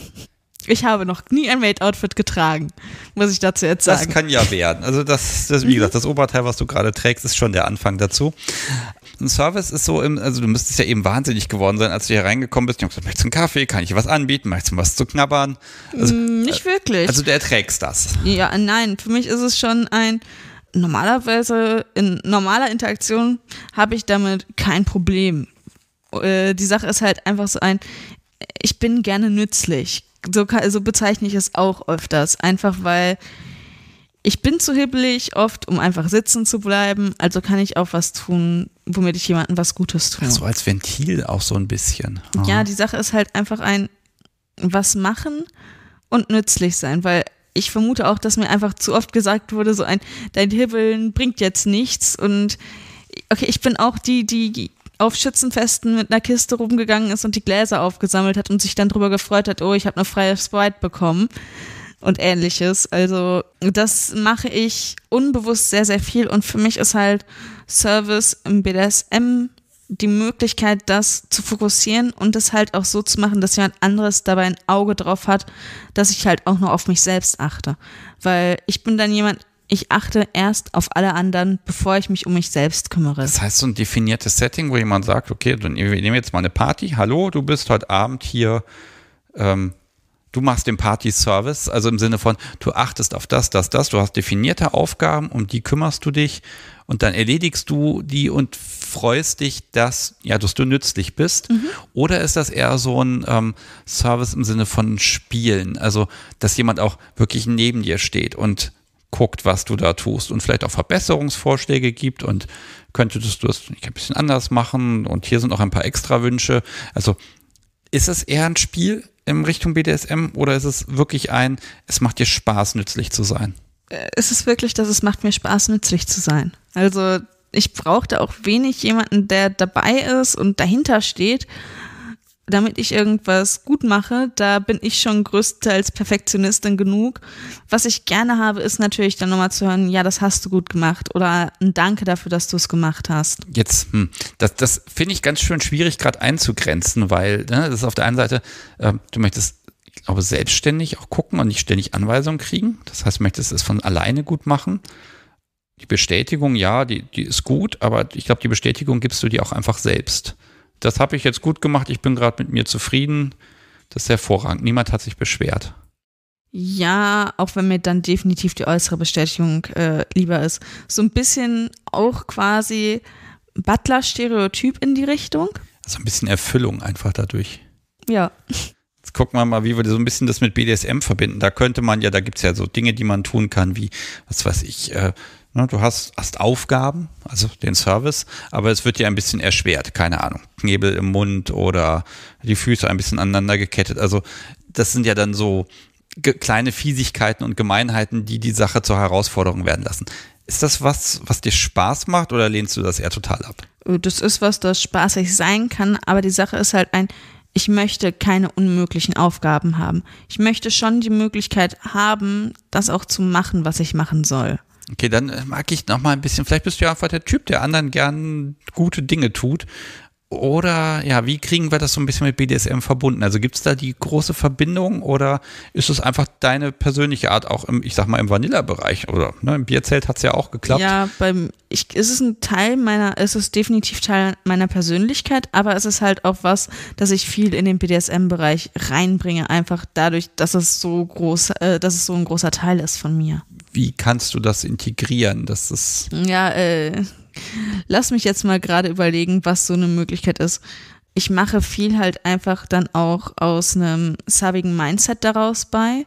Also einfach ein, da ist jemand, der mir wichtig ist, da ist jemand, auf den ich höre, der mir, äh, den ich auch als mein Dom oder ähnliches ansehe, dem ich jetzt gerade alles so leicht machen möchte wie möglich, den ich auch quasi schon fast ein bisschen Verehrung dabei äh, zuteil werden lasse um dir diesen Spaß zu gönnen, muss man dich nur machen lassen. Teilweise ja. Das ist auch was, das so ein zum Beispiel Grill mit Freunden, Fernsehabend, da hatte ich äh, keine festen Spielpartner oder Partner da, wo dann halt einfach das so einfach rauskommt. Also ich habe ja auch so ein bisschen das Gastgebergehen, hoffe ich zumindest. Ich möchte es meinen Gästen ja auch so schön wie möglich machen. ähm, das macht mir auch Spaß. Ja. Ist die Frage, ist das jetzt ein Servicegedanke? Möglicherweise. Und das würde ich aber selber mit BDSM nicht in Verbindung bringen. Also ein Machtgefälle, was da noch außenrum ist. Was verändert das vielleicht? Es verändert definitiv nochmal das Mindset und es verändert auch definitiv nochmal, wie wichtig es mir ist, da jetzt gut bei zu sein. Oft ist es halt einfach ein, ja, ich möchte Menschen helfen, ja, ich möchte was tun, aber da ist es dann auch ein, ich möchte besonders für die Person das besonders gut machen und besonders schön oder leicht oder was auch immer. Also, dass ich das sehr stark dann auf eine Person fokussiere. Wie ist das denn mit Wünschen, die du jetzt nicht so gerne erfüllst? Nehmen wir jetzt auch gerade mal den sexuellen Bereich. Hier, komm mal her, mach mal. Kickt dich das dann nochmal extra? Ja, äh, es kickt mich auch dann sowas zu machen wie ein, ich gehe eigentlich über das, was gerade angenehm ist für mich. Ich gehe weiter als zum Beispiel gerade auch ein, es ist gerade anstrengend für mich, aber ich mache weiter, weil ich gerade die andere Person damit glücklich machen möchte. Hm, das heißt, da hast du dein, dein Reaktionsfetisch kommt da dann durch. Nee, da kommt dann durch, ich möchte besonders gut sein für diese Person. Weniger Reaktionen eigentlich. Okay. Ich hätte jetzt gedacht, oh, der Mensch fühlt sich wohl, lobt dich vielleicht noch. Das ist ja eine Reaktion.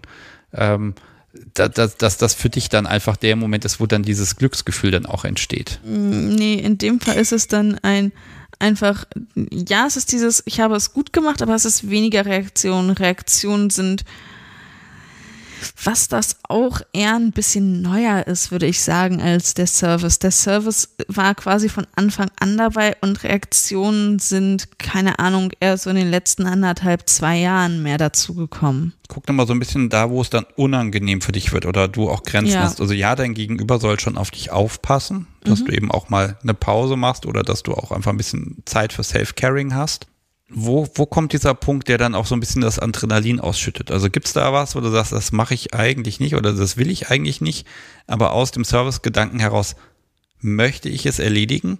Und was ist dann so dein Benefit? Was, was ist dann das, wo, wo du sagst, ja, und deshalb finde ich das toll? Ich habe da gerade definitiv kein konkretes Beispiel, Aber für mich ist es dann halt ein, ja, die andere Person ist glücklich damit und vielleicht kriege ich noch ein Lob daraus. Das ist so das, was es mir gibt. Und das ist für mich schon ein sehr großer Motivator. Ja, ich ahne so ein bisschen, du bist dann bereit, sehr viel zu tun und auch wegen dem Kaffee noch das vierte Mal in die Küche zu gehen und den Kaffee noch ein fünftes Mal zu machen. Ja. Weil er immer noch nicht so war, wie er sein sollte. Ja. Diese Gängelung, die ist aber auch wieder fies. Ja, aber da ist es dann halt einfach auch ein, wenn es berechtigte Kritik ist, habe ich damit absolut kein Problem. Dann bin ich auch beim, dann zeig es mir auch gerne nochmal, damit ich es besser machen kann. Aber wenn es so ein so ist, ja, der ist jetzt zwei Grad zu kalt, dann stehe ich da so ein, ja, wie bitte schön soll ich ihn zwei Grad wärmer zu dir bringen, wenn ich von der Küche zu dir laufen muss? Ist das einen sexuellen Reiz für dich in irgendeiner Form? Oder Nee, also, warum machst du es? Du hast gerade gesagt, du machst das, dann gehst du auch gerne nochmal in die Küche. Also warum?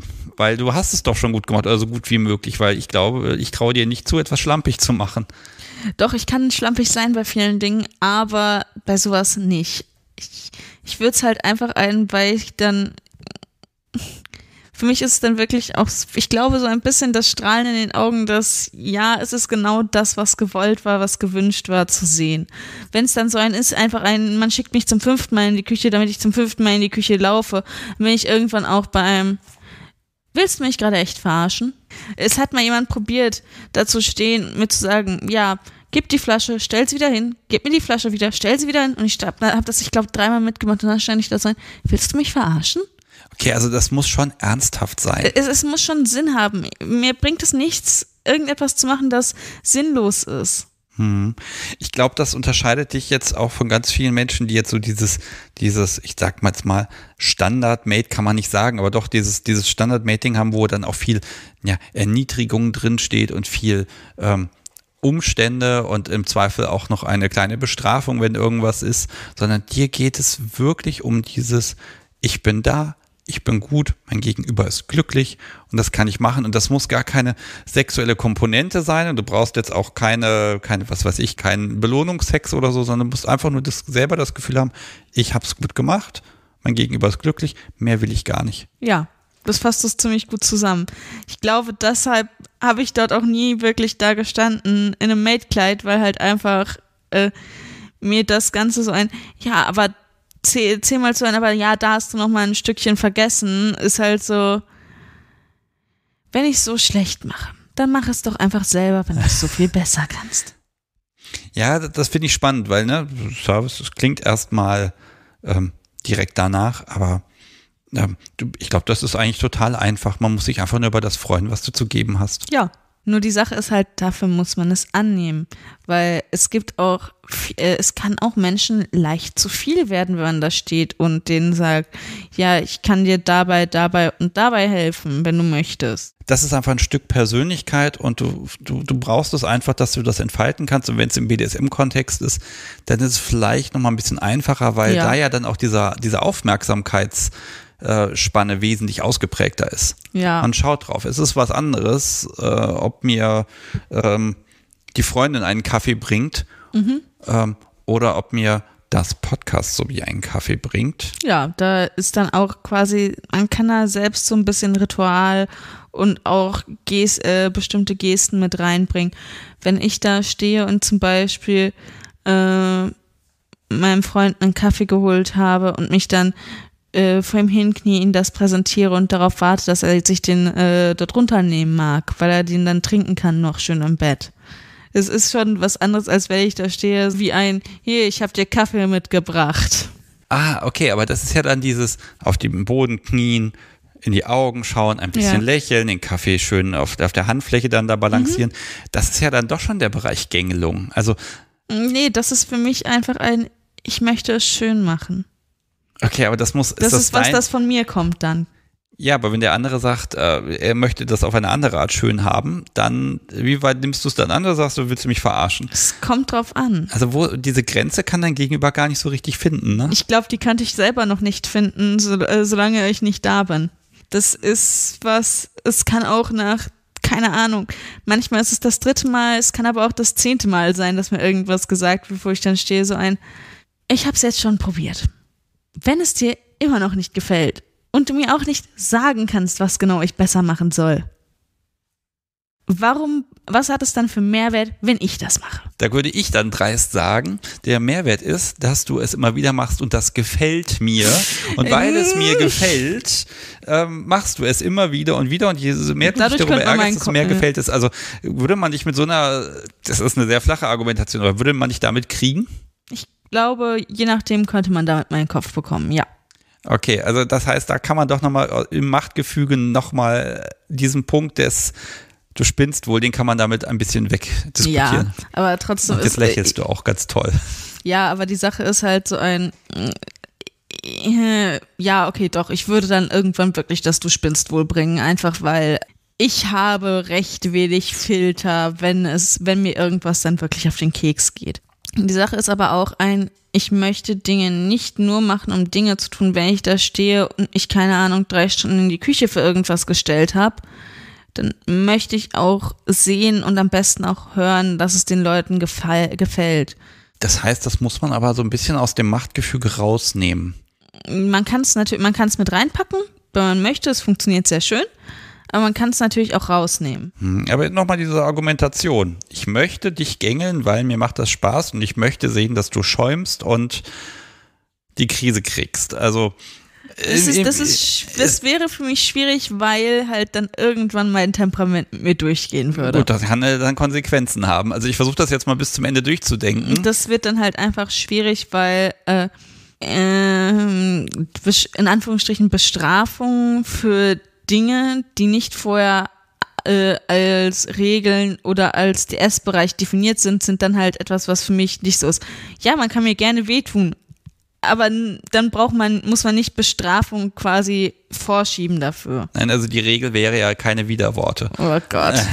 Das kann ich nicht. Äh, Okay, das, äh, okay, also das war, jetzt, ich suche jetzt einfach so ein bisschen nach diesem, ähm, äh, gibt es da eine Art Spiel, wo du sagst, ja, das kann ich mir verdammt schön vorstellen, obwohl das eigentlich ähm, nicht vernünftig ist. Ja, Ich meine, heißt der Podcast hat irgendwie im Namen irgendwas mit ich, Unvernunft. Ich, ja, ich könnte mir das mit der Gängelung vorstellen, aber ich weiß nicht, ob es was ist, was ich öfter oft machen würde, einfach weil äh, das zu sehr gegen meinen Perfektionismus gehen würde.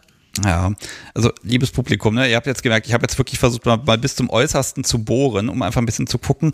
Äh, das ist nämlich bei ganz vielen Menschen absolut unterschiedlich. Und äh, ich, ich finde das einfach mal schön, hier auch wieder mal zu sehen, ja, Service und Bedienen, das hat aber einfach unterschiedliche Gründe. Und für dich ist es auch, glaube ich, auch einfach ein Stück Selbstwert und Selbstbestätigung. Ja. Und das sollte man dir einfach nicht nehmen. Ja, man könnte, man könnte davon auch auf Kuchen springen. Kuchen. Ja. Ja, Kuchen ist ein super Thema. Mhm. Ich habe aus, ja, okay, nicht ganz solchen Gründen, aber äh, ich durfte mir am Anfang anhören, du hast ja gar keine Bilder in FatLife Online. Also habe ich angefangen mit Kuchen. Ich habe, meine allerersten Bilder waren Kuchenbilder, die ich hochgeladen habe. Unter anderem so ein, ich wollte was machen für jemanden, da hatte es dann einen weiteren Grund, der Mensch hat mir viel geholfen, aber ich habe dann sowas, ich glaube, ich habe zu meinem ersten Zelten oder was zu meinem zweiten, ich weiß es nicht mehr, eine Himbeer-Schokoladen-Pavlova oder so mitgebracht und sie bis zum zweiten Abend kühl gehalten und, ver äh, und verteidigt für jemanden. Oh. Ja, Ja, also Kuchen ist natürlich immer was, damit kann man immer ein bisschen glänzen. Wenn, wenn er denn gut ist. er war anscheinend gut. Ja, Ich weiß nicht mehr, ob ich noch ein Stück abbekommen habe. also ich, ich habe jetzt schon mal die Notiz gemacht, möchte gefallen, das würde ich sogar als, als leichten Fetisch oder als Vorliebe bei dir sehen. Es ist halt, ja, es passt, äh, ist einfach wie ich bin auch ein bisschen dabei. Wenn du oben spielst, ist das auch Service? Es kann Service sein, besonders bei manchen Sachen. Und wo ich es gerne in eine Service-Richtung packe, ist, wenn ich mir unsicher bin. Weil im Service bin ich mir sehr sicher. Und wenn ich dann so bei, ähm, ich mache das für jemanden und mache es so, wie er es möchte, macht es für mich sehr viel einfacher. Aber also wenn du oben spielst, machst du es, damit es deinem Gegenüber gefällt oder machst du das für dich? Es kommt drauf spielst? an. Es kommt drauf an. Okay, dann nehmen wir jetzt beide Versionen. Also du kannst machen und schalten, wie du willst. was tust du? Also was ist so das, was dich ankiekst? Es kommt drauf, äh, das ist dann halt sehr menschenbezogen. Es kommt dann drauf an, meistens bin ich dann erstmal einfach einem dafür sorgen, dass sich jemand wohlfühlt, dass er runterkommt, dass er sich entspannen kann. Und dann bin ich bei einem so ein, dann fange ich an, so zu ärgern. Kleine Gemeinheiten. Ich spiele oben mittlerweile äh, auf den anderen fokussiert, recht sexuell und da ist dann viel auch einfach so ein, oh, du bist jetzt gerade geil, das ist mir aber gerade absolut egal. Ich mache einfach mit dem weiter, was ich gerade mache und sehe, wie du dich da so ein bisschen windest.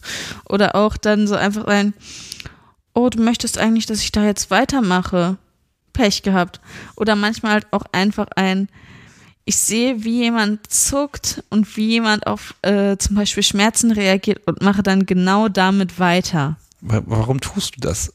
Weil es dem Menschen gefällt nee, oder weil Fall, es, Fall, es in dem Fall, weil gefällt? Es, in dem Fall einfach, weil es mir Spaß macht, weil es mir unglaublich Spaß macht zu sehen, wie die Person reagiert. Dieses teilweise einfach nur dieses scharfe Einatmen, dieses leichtes Zucken und ähnliches einfach. Das ist was, was mir sehr viel gibt. Das ist dann wohl der Teil, wo der Service wo du dir selbst einen Service erweist. Vielleicht, aber da lasse ich den Service dann auch oft einfach außen vor. Ja, aber es ist dann doch für dich einfach gut, für dein, für dein Gefühl, für dein ja. Mindset. Ähm, also das heißt, da, da kommst du dann doch in diesen gewissen Rausch rein und sagst, boah, das ist jetzt für mich. Ja, auch wenn ich, ich kenne den Anfang dieses Rausches. Ich habe aber Angst, weiterzugehen in dem Fall, weil ich muss doch die Kontrolle behalten. Das ist da halt, ich habe genug Leute hier stehen, lass es mal zu, probier es mal aus. Ich kann das abhaben und ich kann dich, wenn nötig, auch stoppen, aber es ist trotzdem so eine innere Blockade, weil wenn ich oben spiele, muss ich doch in Kontrolle bleiben. Und das ist dann für mich wieder so ein bisschen ein, wenn ich in den Rausch verfalle, bin ich nicht mehr vollkommen in Kontrolle. Der Rausch, ich, ich kontrolliere jemanden, aber leider auch diese Notwendigkeit, ich muss mich selber auch ein bisschen kontrollieren. Ja. Ähm, wo glaubst du denn, dass du die Kontrolle über dich mal verlierst? Also wo, wo läufst du Gefahr, dass das passiert? Wenn ich oben spiele, wenn jemand in Anführungsstrichen zu schön reagiert oder halt auch äh, und auch größtenteils eher im Schmerzbereich, würde ich sagen, dass es mir da passieren kann. Dass ich dann weitermachen will und immer mehr will ich meine, warum gerade im Schmerzbereich, wenn jemand dann da wirklich leidet und um Gnade winselt, ähm, ähm, was, was, wovor hast du Angst, was dir passieren könnte? Dass ich zu weit gehe. Ich weiß natürlich, dass da jemand anderes auch dranhängt, der natürlich mir sagen will, und ich bin auch beim, ich würde sofort aufhören, wenn ich was merke. Aber trotzdem ist da so diese kleine Stimme, die sich dann fragt, würdest du es dann da noch mitbekommen, wenn du zu viel Spaß hast? Bist du dann aufmerksam genug? Also ja, das heißt, du bräuchtest eigentlich nochmal jemanden nochmal eine Stufe über dir, der so ein bisschen darauf aufpasst, dass du, dass du wirklich, also, dass du wirklich loslassen kannst, aber mit der Sicherheit, im Grunde kannst du es gar nicht übertreiben, weil du hast nochmal eine Instanz, die da dich nochmal unterstützt. Das ist eine gute Idee und das ist eigentlich auch eine Position, in der ich sehr gerne bin, wenn es mehr als zwei Personen sind, dass ich irgendwie dann quasi in der Mitte bin. Nicht irgendwie mit oben oder mit unten, sondern dazwischen. Okay, das gab's schon mal? Mmh, als Folterhelfer definitiv, aber dann bin ich eher diejenige, die quasi drumherum ist, angibt, Ideen gibt, Oh, das ist eine ganz böse Position. Also das ist so der, aus, also aus den Disney-Filmen kennt man das ein bisschen. Wenn du dann den Oberbösewicht hast, dann hast du nochmal den, den, den Schergen des Bösen. Ne? Ja, wir könnten das auch so machen. Oh ja, gute mhm. Idee. Ja, ne? oder dann auch einfach mal Sachen angibt, Ideen gibt oder auch mal selber zuhaut, wenn die Möglichkeit besteht. Also auf Anweisung jemanden wehtun, das kann ja sehr viel Spaß machen, weil du bist ja gar nicht so verantwortlich. Ja, Werkzeug sein. Ich hatte, äh, wir hatten da gestern eine gute Diskussion drüber als Bezeichnung. Äh, jemand hatte Living Weapon vorgeschlagen. Lebende Waffe. Ja. Mhm. Ich, das passt, ich, damit ja. fühlst du dich wohl. Oder halt Folterhelfer. Folterhelfer ist mein äh, Synonym so ein bisschen dafür. Dann habe ich doch schon mal einen Folgentitel. Folterhelfer. Helfer. Und äh, dann kann man noch Menschen noch weiter verwirren, wenn man dann sagt, da spielt dann eigentlich eine sadistische Sub. Weil das sind die Sachen, die dann größtenteils im Vordergrund sind dann. Es ist weniger die Top, die dann im Vordergrund ist, sondern eher auf Sub-Seite, weil ich mache ja es ja für jemand anderen, ich habe jemanden über mir, aber ich kann gleichzeitig definitiv meine sadistische Seite rauslassen. Das ist so ein, ja, ich würde ja gerne aufhören, aber es tut mir leid, es liegt nicht in meiner Macht und deshalb oh. mache ich jetzt weiter. Also, also das wäre ja nochmal eine doppelte Gemeinheit, aber ja, das könnte na, von mir kommen. Also dieses Mitfühlen und dann nochmal draufhauen. Ähm, ja. Das ist der Punkt, wo du entspannen kannst? Äh, die Sache ist halt einfach ein, ich kann machen so in vielen Sachen, was ich möchte, aber trotzdem äh, habe ich jemanden, der die, der die große Verantwortung hat. Ich bin jemand, so die ganz große Verantwortung, das ist eigentlich mein Ziel. Deswegen würde ich auch oft sagen, ich bin nicht großdominant. Ich bin gerne top. Ich tue gerne Menschen weh. Aber viel wirklich dominant sein und auch verantwortlich sein für jemanden außerhalb einer Session ist was, das ich mir nicht aussuchen würde glaube, Verantwortung ist genau der Punkt. Die, ja, du magst halt Spaß haben und diese Verantwortung, wenn du sie nicht tragen musst, dann umso besser. Ja. Dann kannst du noch mehr Spaß haben. Finde ich ist ein spannender Punkt, weil also man hat ja auch einfach mal, ich sag mal, Skrupel. Kann ich das jetzt machen? Und man braucht ja manchmal so diesen Schubs und also ich muss mich leider so ein bisschen dran erinnern an dieses uralte Experiment mit dem, mit dem, mit dem, wo die Menschen dann da Stromstöße gegeben haben und dann wurde ihnen immer zugeflüstert, nein, sie müssen da jetzt weitermachen, sie müssen nach Plan vorgehen und die Menschen dann sehr grausam sein konnten.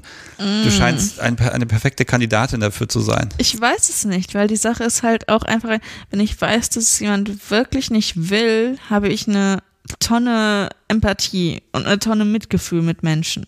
Aber also dieser, ja, die Schutzreflexe sind natürlich da, aber mhm. wenn dir schon jemand sagt, so und du machst da jetzt weiter, wir haben das, ich möchte das so, dann, dann würde das diese Grenze bei dir doch arg verschieben kommt, können. Kommt drauf an. Je nachdem, es kommt, ich muss halt auch die Autorität des anderen anerkennen bei dem Ganzen. Davon gehe ich jetzt einfach mal aus. Okay, dann da. kann das passieren, ja. Du möchtest dann, gefallen, du möchtest Service machen und deine Aufgabe ist, sei grausam. Dann kann das passieren, ja. Aber dann habe ich halt im BDSM den Vorteil, dass alle Parteien dem Ganzen zugestimmt haben und meistens auch daran Spaß haben. Auf irgendeine Art und Weise. Ja, aber jetzt haben, wir, jetzt haben wir so ein bisschen diesen Punkt geguckt. Also ich, ich sehe das wirklich hier auch äh, an deiner, deiner Mimik. Ne? Jetzt sind wir in dem Wohlfühlbereich von dir. Service erbringen und sadistisch gleichzeitig mhm. und mit Personen interagieren, mit Zuspruch und Lob und auf der anderen Seite aber auch Reaktion sehen. Also das ist so, das ist die Session für dich, sage ich jetzt mal. Okay, jetzt, jetzt habe ich dich gekriegt. Mhm. Jetzt, wenn bei dir alles mit irgendwie Klinikfantasien angefangen hat, dann bin ich mir auch sicher, dass du da inzwischen auch was rumprobiert hast. Was, was würde ich denn bei, also, nein, ich sortiere dich jetzt mal gleich ein, so schöne Gegenstände für dich sind Nadeln und Messer und ich weiß es nicht, ja, irgendwelche Stäbe und Dinge und Messgeräte, keine Ahnung. Also, was, wo sagst du, was, was ist dein, dein Klinik-Kink? Was ich auf jeden Fall unter meinen Kink packen würde, sind so definitiv Sachen wie Nadeln und Skalpelle und so weiter. Äh, mit Untersuchungen oder so habe ich bisher eigentlich recht wenig rumprobiert einfach weil es noch nicht gepasst hat. Aber auf jeden Fall die Ecke Dinge, die durch die unter die Haut gehen. Nadeln, Messer, Skalpelle und so weiter. Und halt auch das drumherum, das Vorbereitung, die Kompetenz, die da dran hängt, weil man sollte schon wissen, was man tut, sonst äh, ist es keine gute Idee, es zu tun. Ja, also klar, den Disclaimer haue ich jetzt auch einfach mal raus. Ähm, lasst euch erklären, wie es geht und vor allem, wie es so geht, dass hinterher keine fiesen, bösen Entzündungen und irgendwelche fiesen Schäden daraus kommen. Das setze ich aber bei dem besten Publikum der Welt natürlich voraus, dass das klar ist. Ähm, aber ja, äh, Du Switch heißt äh, ja dieses Ganze unter der Haut passiv oder aktiv? Äh, manches lieber aktiv, manches lieber passiv. Fange ich doch mal ähm, mit aktiv an. Aktiv bin ich lieber mit Nadeln zugange, einfach weil ich es besser einschätzen kann. Beim Skalpell bin ich selber noch am Schauen, was ist der richtige Druck, weil da habe ich natürlich recht viel Angst, zu fest zu drücken, zu tief zu schneiden und bin dadurch eher bei Nadeln, die ich besser einschätzen kann. Hm. Äh, was möchtest du mit Nadeln tun? Es gibt ja einmal dieses, es geht um eine Machtdemonstration und eben auch diese Hilflosigkeit und dieses, ich gehe dir unter die Haut und da spürst du mich. Oder eher so ein, es ist optisch schön. Mm, es ist optisch schön, es ist meditativ auf eine Art und Weise. Und was mich auch daran klickt, äh, kickt, ist halt äh, das Blut. Das Blut zu sehen und auch einfach äh, es zu wissen, dass ich quasi dem anderen so nah bin und auch so nah an dem bin, was ihm am Leben erhält.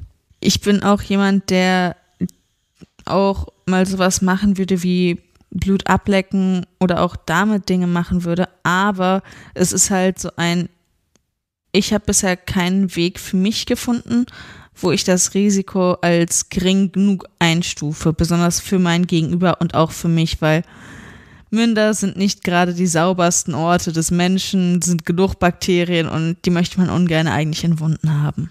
Und Desinfektionsmittel schmeckt scheiße. Das, das ist wohl wahr. Naja, vor allem, da kommt dann einfach die Vernunft hängt noch über allem drüber, äh, weil ich das Thema jetzt noch nicht so oft hier in der Kunst der Unvernunft hatte. Ähm, die Menschen, die sich jetzt vorstellen, dass man jetzt, ich sag mal, die Nadel quer in den Arm rein, also einfach äh, im 90-Grad-Winkel, in, also wie eine Spritze in den Arm reinrammt und dann ist sie halt da drin. Das ist es ja nur gerade nicht. Nee. Äh, kannst, du, kannst du ganz grob erklären, was man da eigentlich tut? Was erstmal sehr wichtig ist, ist erstmal dafür sorgen, dass die Haut sauber ist und auch desinfiziert ist. Einfach weil wir haben keine Lust, da irgendwelche Bakterien, Viren, andere Mikroorganismen zu haben, die unter die Haut kommen, die Entzündungen verursachen, weil es möchte keiner irgendwelche Entzündungen haben. Glaube also, ich auf jeden Fall nicht. Das kann, sind Non-Control-Spiele. Nein, also man kann es nicht 100% ausschließen, aber klar, Desinfektion und ähm, die Experten, die der Meinung sind, die steril verpackten Nadeln, wenn die mal runtergefallen sind, nein, dann sind, kommen sie bitte weg. Ähm, aber was, was, machst du mit der Nadel? Du hast jetzt die Nadel in der Hand. Es kommt drauf an, was ich machen möchte. Habe ich irgendwie ein Muster, das ich machen möchte, dann habe ich da mir schon vorher Gedanken gemacht, wie ich das mache. Entweder, dass ich eine Nadel mehrmals durchfädel oder dass ich Nadeln entsprechend positioniere, dass sie ein Muster ergeben. Oder es ist halt so ein, ich fange an und bin dann so ein, das passt noch und das passt noch und das würde noch passen und es ist dann so ein, ich gehe ein oder mehrmals kurz unter der Haut mit der Nadel durch. Genau, also du stichst ein, ganz flach. Ja und dann geht die Nadel ganz knapp unter der Haut. Da kann man manchmal sogar noch das Metall durch die Haut sehen ja. und dann, dann aber auch wieder raus. Ja, ich lasse sie nicht drin stecken, weil sonst ist es so ein, jemand bewegt sich und dann bewegt sich die Nadel da drin und schneidet rum und äh hm, genau, also die, die, scharfe Seite guckt wieder raus und das ja. Muster ergibt sich dann durch den, ja, durch diesen Aufsteckaufsatz. Ja, oder auch je nachdem, wenn man mehrmals unter der Haut durchgeht, also quasi so ein bisschen webt, dass man dadurch das wo halt Nadel ist und an anderen Stellen Haut, dass man dadurch Muster erzeugen kann. Da habe ich bisher aber nur Sachen geplant und sie nicht umgesetzt. Da gibt es auch ganz viele Bilder, ne? teilweise mit 200 Nadeln, so ein äh, Schachbrettmuster auf dem Rücken. Also es gibt richtig mhm. aufwendige Sachen. Und ähm, ja, die Optik kommt jetzt dadurch, dass ja diese, dieser, dieser Kunststoffaufsatz am Ende, äh, wo ja die Spritze eigentlich drauf käme, ja. äh, dass die ja verschiedene Farben haben. Daraus kann man viel machen. Dummerweise heißt aber auch andere Farbe, anderer Durchmesser. Genau das. Ich gehe jetzt einfach mal zum letzten Mal. Das ist vielleicht noch am präsentesten. Mhm. Was, was, hast du gemacht? Ich habe äh, eine Art Mandala auf dem Rücken gemacht bei meinem Partner weil es war so ein, ähm, wir haben einer Freundin gezeigt, wie man nadelt und sie das auch machen lassen und mal ausprobieren lassen. Der war da so ein, bevor ich das nochmal mit ihr mache, möchte ich auch, dass du mich nochmal wieder nadelst. Einfach auch so als ein, das zusammen zu machen hast du gesagt, das ist meditativ für dich. Also wie läuft das ab? Redet man dabei? Läuft der Fernseher im Hintergrund? Oder also was, was, was passiert da eigentlich? Was ist das für eine Situation? Bei uns ist es meistens was recht Ruhiges und auch definitiv was bei uns auf Freiwilligkeit beruht. Also ein, ich möchte mich dir da quasi auch hingeben, möchte, dass du das mit dir machst ohne jemanden festzumachen oder so. Vielleicht eine Augenbinde, wenn man sagt, damit fühle ich mich besser. Und dann äh, meistens Musik leise im Hintergrund, weil ich bin dabei nicht jemand, der so groß quatscht, weil es ist ja halt schon was, auf das ich mich konzentrieren muss, dass ich mich nicht selber steche, dass ich den anderen nicht so steche, dass es verletzend ist und ähnliches. Also es ist ja auch wirklich jedes Mal, du nimmst eine Nadel in die Hand, du packst sie aus, die sind ja nochmal einzeln ja, verpackt. Sollten du machst die Kappe ab, du setzt sie an, und so weiter, ja. Ja, und dann auch dieses leichte, ne, dieser, dieser Stich, es ist ja doch ein Schmerzreiz. Mhm. Und zwar zweimal rein und raus. Raus tut mehr weh. Was macht das mit dir vom Gefühl her? Also abgesehen davon, dass du hinterher ein schönes Ergebnis hast? Es macht mich, ich würde sagen, sehr, sehr ruhig, weil ich was habe, worauf ich mich absolut fokussiere.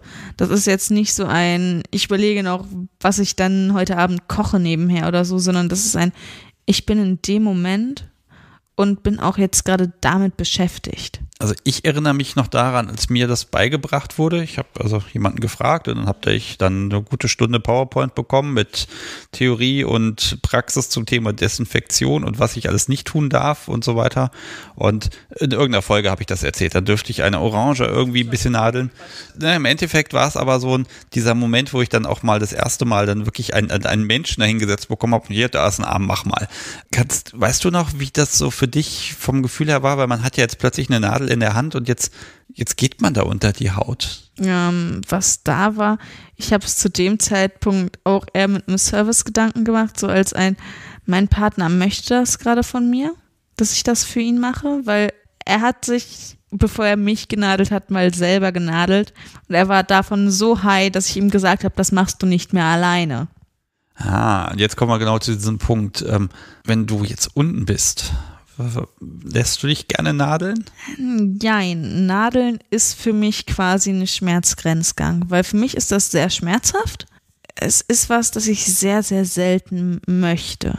Weil das ist auch so ein Schmerz, der wird nicht besser mit der Zeit. Es ist kein Schmerz, der mich, oh, ich habe danach so super viele Endorphine, sondern es ist einfach ein, es tut weh, aber es ist ein so ein, manchmal möchte ich dieses, dass es weh tut und dass ich leide auch haben. Aber was lässt du mit dir unter der Haut machen? Ich lasse mich gerne mit, mit einem Skalpell bearbeiten.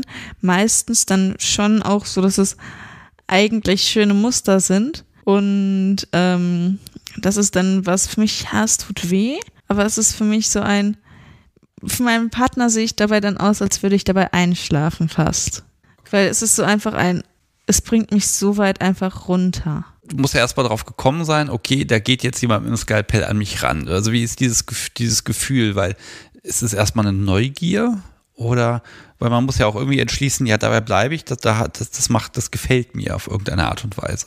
Äh, wir haben erst angefangen, aber wir hatten das Ziel, wir wollten ein Symbol von ihm, also eine Foto in dem Fall, passt natürlich gut zum Wolf, bei mir mal auf dem Körper bringen. Und das haben wir auch getan als äh, uns auch öfters mal nachgeschnitten. Das war halt, und das, ich habe halt dabei gemerkt, beim Üben, geübt haben wir größtenteils auf dem Rücken. Wenn man das bei mir auf dem Rücken macht, ist das für mich was total Schönes und Anführungsstrich, man könnte auch sagen angenehm, aber irgendwie, ja, es ist schmerzhaft, aber es ist trotzdem angenehm. Vorne, Brustbereich, es tut mir sehr weh, aber es war dann was, das ich halt im DS-Kontext was dann auch nochmal dort gepasst hat, was, etwas auszuhalten dafür. Ich mag mal kurz intervenieren, wenn du jetzt mit dem Skalpell auf der Haut schneidest, dann gibt es ja doch Narben. Oder ja. bleibt das bei dir? Oder wie, wie reagiert dein Körper? Weil ganz ehrlich, das kannst du dann sonst nicht ewig machen, weil irgendwann siehst du halt doch sehr arg zerschunden aus. Recht wenig, wenn man weiß, sieht man, dass mein Rücken recht viele kleine Narben hat aber da ist nichts Zusammenhängendes oder so. Und auch von der Pfote, die mal da war, sieht man recht wenig. Wenn man weiß, dass sie da ist, sieht man so ein bisschen, dass da eine ganz, ganz leichte Narbe ist, aber auch nicht viel. Das ist ja dann schon was sehr Permanentes. Das möchtest du? Die Sache ist halt einfach ein, wo ich darauf stehe, ist, Narben erzählen eine Geschichte. Auch sollte dieses Kapitel nicht so funktionieren, es ist trotzdem was, wo ich stehe, ein, es war, wie es ist und es war für den Zeitpunkt das Richtige. Also du dokumentierst quasi auf dir. Ja, ich habe auch ein paar sehr, sehr dumme Narben, aber größtenteils ist es dann halt einfach so ein, ich kenne meine Narben und kann dazu Dinge erzählen und das finde ich eigentlich ist auch ein bisschen was Schönes, weil es ist auch so ein bisschen ein Zeichen von, ich habe dafür was gemacht. Wer, wer darf das bei dir? Eigentlich nur Wolf. Hm, Also das ist jetzt auch etwas, was du trotz Polykonstrukt nicht teilen würdest. Wenn ich jemanden hätte, der es lernen wollen würde, ich habe auch schon jemanden gehabt, der es lernen wollte und der dann auf meinem Rücken üben durfte. Aber es ist so ein, ähm, ma äh, auf markierende Art und Weise darf das nur Wolf zurzeit. Also markieren heißt Zugehörigkeit. Ja. Ich würde auch zurzeit kein anderes Halsband oder so tragen wollen. Und zwar ist eben schon die Pfote als Symbol oder das Muster. Ähm, ist das was, was von dir ausgeht oder wo er sagt, hier, äh, ich, ich möchte jetzt auf dir schneiden? es kam von uns beiden passend. Ich habe auch schon mal öfters Ideen geäußert, was passen würde. Wenn du möchtest, kann ich dir die Sachen auch nochmal zeigen. Du kannst auch jetzt. Okay. Nee, Das Handy kommt raus. So, liebes Publikum, ich werde jetzt ein bisschen erzählen. Möglicherweise werde ich das ein bisschen kürzen, aber Ja. ich bin gespannt, dass ich vielleicht auch so einen kleinen Eindruck einfach habe. Also, liebes Publikum, stellt euch jetzt nicht vor, dass man da irgendwie fünf Millimeter tief schneidet. Das ist wirklich ganz oberflächlich und oh ja, das ich ist sehe schon eine ein Foto. bisschen verheilt. Ja, ich, ich sehe jetzt ein, ein Bild bei Fett und ähm, das ist jetzt auf dem Rücken Nee, das ist unter der Brust. und ah und ah jetzt ja okay, wenn man wenn man weiß wo, weil man man sieht halt nicht alles.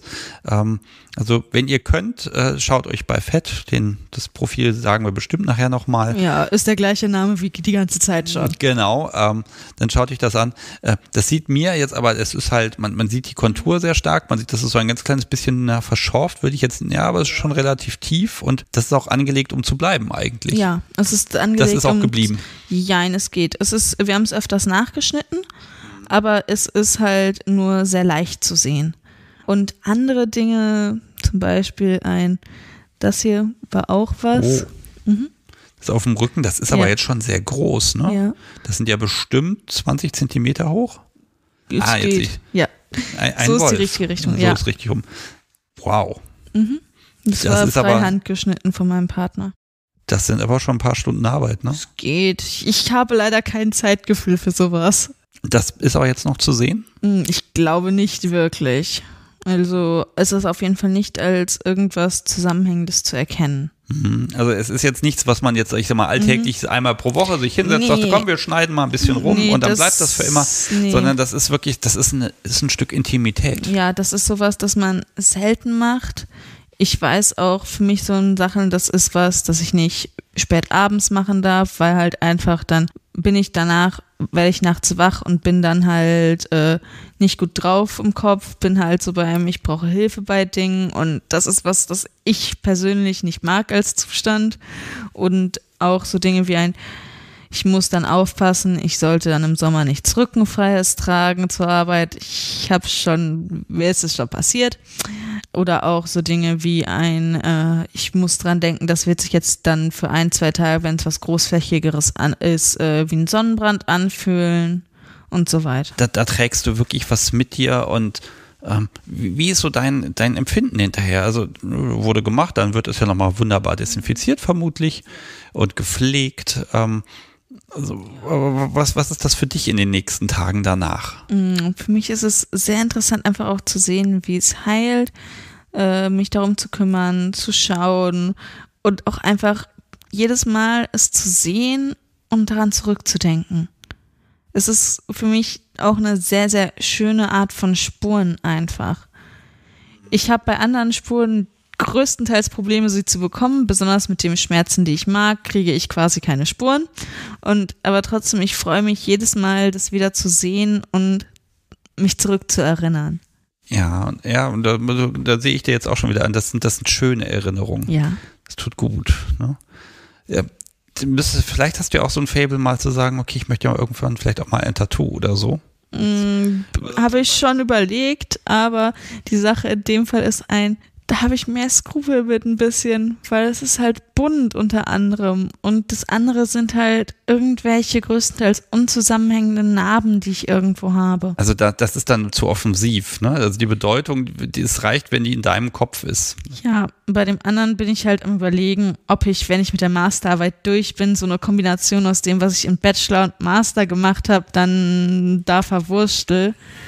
Aber ich habe noch keine Ahnung, wie, wo oder was. Das hast du ja gesagt, selber mit dem Skalpell magst du nicht so. Mm, ich mag es schon, aber die Sache ist halt einfach ein, ich kann es weniger gut einschätzen als Nadeln. Ich, da bin ich noch sehr, sehr schlecht darin, den Druckpunkt herauszufinden, den ich brauche. Aber auch da fasziniert dich wieder dieses Biss unter die Haut. Ja.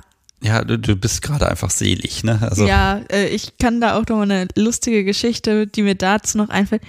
Mich haben Nadeln fasziniert, bevor mich Blut fasziniert hat. Und es war dann so ein, auf einem Stammtisch, wir haben halt drüber geredet, das war irgendwie ein Thema in einer Themenbox. Und es hat mir jemand gesagt, oder prophezeit quasi schon, wenn dich Nadeln interessieren, wird, wird dich auch irgendwann Blut interessieren. Und äh, da bin ich jetzt. Was ist der Blut für dich? Es ist halt so ein, es ist so ein, nochmal ein Zeichen dafür, ja, ich bin unter der Haut, ja, ich war unter der Haut und auch so wirklich dieses so ein, Blut wird ja auch öfters mal als Lebenssaft bezeichnet, dass es auch genau wirklich da ist, dass ich quasi auch so nah an dem, was die Person am Leben hält, bin. Und auch wenn es, wenn es dein Blut ist, das ist dann auch okay. Also weil ich weiß, dass ich habe in Blut überhaupt keine Probleme. Wenn es meins ist, Oh je, also wenn mir Blut abgenommen wird und sei es nur ein kleines Röhrchen, mir wird sowas von schwindelig und schummerig. Also da bin ich dann anders drauf. Ne? Da sage ich dann, nee, das ist jetzt meins und das fehlt mir und ich spüre, dass mir das fehlt oder ich bin da total die Memme. Ähm, na, also da, da, da grenze ich dann schon ab. Ja, mein, mein eigenes Blut kickt mich eigentlich auch nicht, aber ich bin da halt einfach sehr entspannt. Man findet bei mir wenig Blut äh, zum Abnehmen besonders wenn man nicht auf mich hört, aber es ist dann so ein, ich bin dann so ein ruhig, ja, Sie können gerne nochmal probieren, ja, alles gut, bleiben Sie ruhig.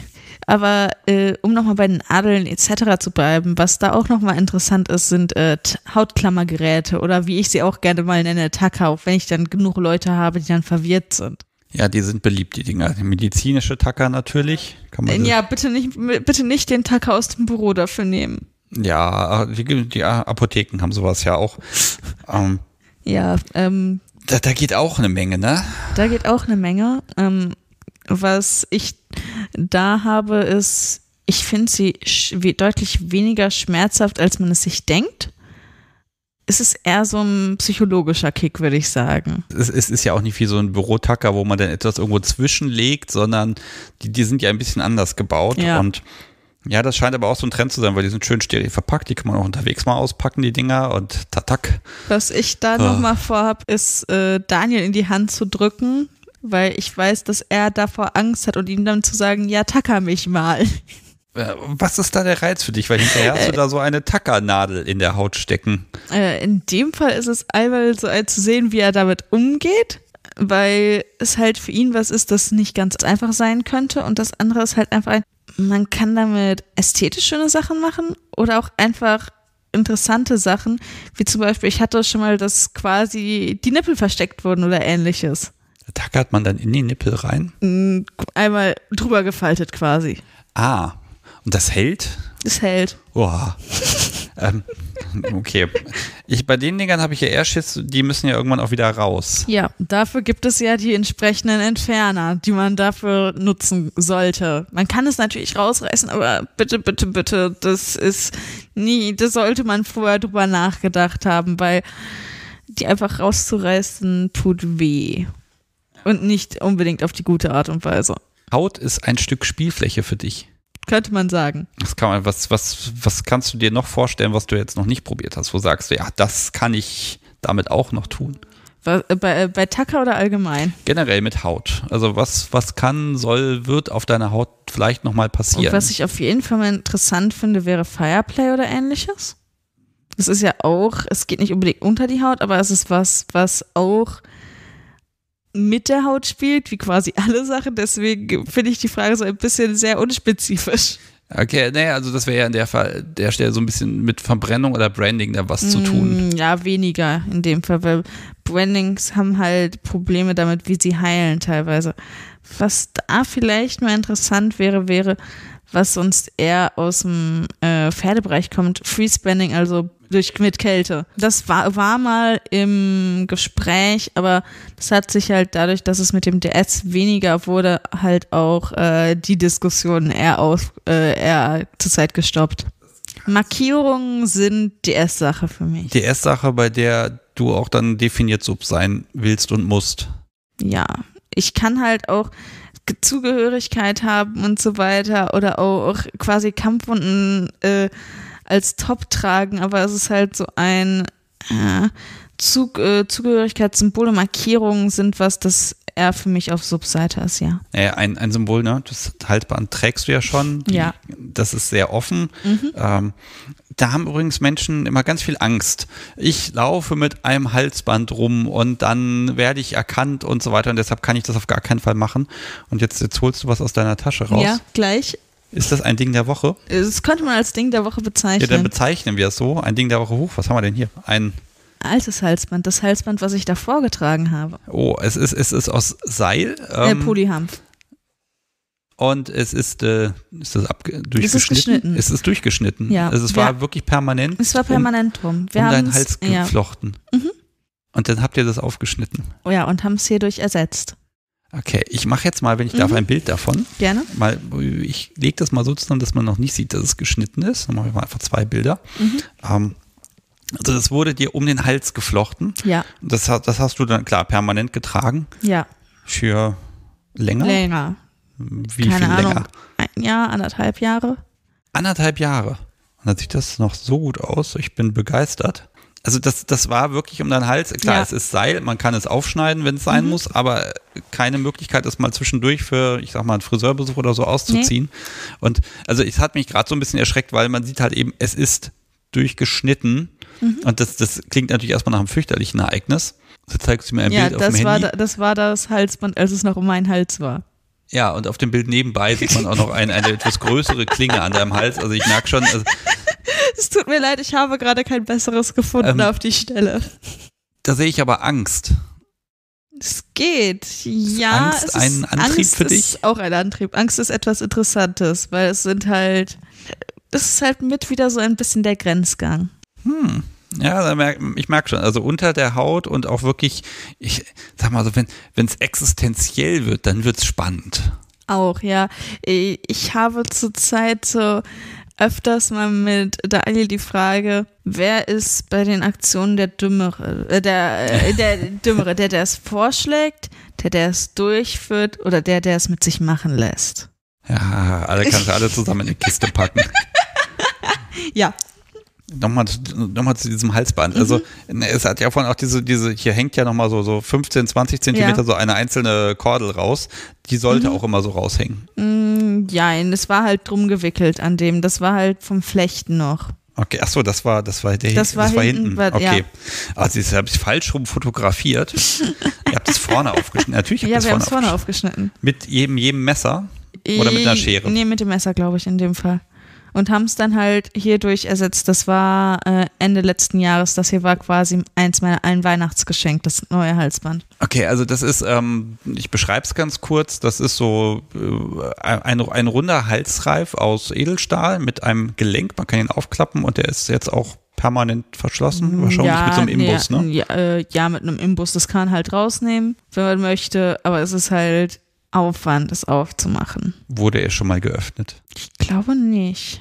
Nur halt wieder neu reingedreht, weil sich die Schraube, weil wir nichts dran haben, öfters mal rausruckelt. Äh, wa- Was bedeutet das für dich? Ich trage es immer noch ein bisschen als ein Zeichen, dass das DS wieder da sein wird und halt auch immer noch als Zeichen für ich bin seins, als Zugehörigkeitszeichen. Trägt er auch sowas? Jein. Was ich ihm geschenkt habe, ist mal ein Anhänger für seine Kette. Äh, meinem Wolf habe ich halt einen Wolf als Kettenanhänger geschenkt gehabt. Ich, es ist ein bisschen zynisch, aber wärst du dann nicht das Lamm und wäre das Lamm nicht der perfekte Anhänger? Nein, Okay, ich bin kein Lamm. Nein, das Okay. passt nicht. äh, okay. Ähm, da passt Pony besser, da passt Katze besser, aber kein Lamm. Oder der Tiger oder der Löwe, Löwenherz und so, ja. Also du willst, du willst das DS zurückhaben. Auch. Das, ja. das ist ja ganz oft so, man, man macht dann was, das stellt sich als schlecht heraus und dann lässt man das. Mhm. Und jetzt sagst du, ist das dein Bedürfnis? es ist unser Bedürfnis in dem Fall. Die Sache ist nur halt einfach ein, es ist schwer, Vertrauen wieder aufzubringen, äh, aufzubauen und halt auch wieder diese Zuverlässigkeit. Es ist gut, wie es geht. Ich kann mich darauf verlassen, wiederzufinden. Also man, kann man, man macht ja Fehler, um daraus zu lernen. Mhm. Jetzt habt ihr ja bestimmte Dinge ausprobiert, hat sich als nicht so toll rausgestellt. Was, was, stellt, was, was kannst du dir vorstellen, so als erste Schritte vielleicht, um sich da einfach wieder wohlzufühlen? Was für mich, glaube ich, erstmal, ich brauche halt dieses, ich kann mich darauf verlassen. Und ich glaube, dann würde bei mir es einfacher werden, quasi wieder in den Headspace reinzuwechseln und von da aus weiterzugehen. Gibt es, kann, kannst du dir was konkret vorstellen oder ist das im Moment noch einfach im Nebel? Es ist noch im Nebel. Und was ich sagen würde, durch die Zeit, die vergangen ist, wird sich auch das, was im DS möglich ist, ändern. Weil zum Beispiel, ich kann mir zurzeit nicht mehr wirklich vorstellen, das so als TPE-mäßiges aufzuziehen. Einfach weil ich dafür sehr viel an Unabhängigkeit und so weiter entwickelt habe auch. Aber du, du möchtest es ja wieder haben. Also was möchtest du wieder haben? Was für ein Gefühl? Ich, was, was ich möchte die Möglichkeit wieder haben, mich, wenn ich möchte, auch dieser Person unterwerfen zu können. Ich möchte die Möglichkeit haben, da wieder vorzustehen und quasi auch zu der Person auf, aufschauen zu können, wenn ich möchte. daran hindert dich einfach dieses permanente Aufpassen müssen oder Ja, daran, äh, es, äh, es hindert mich daran, dass ich dadurch, dass ich, wenn ich in so einem Zustand bin, bin ich verletzlich, dass ich das zurzeit nicht zulassen kann. Ich kann das zulassen, wenn jemand recht stabil ist. Ich kann das zulassen, wenn ich weiß, dass derjenige darauf aufpasst, was ich quasi geben kann. und du, du, du traust es ihm ja zu und weißt, dass, was, dass er das im Grunde kann, aber im Moment, ja, also man könnte Moment jetzt ja kleine. Schritte gehen oder also gibt es etwas, wo du sagst, das, das könnte man dazu beitragen oder das muss sich von alleine fügen?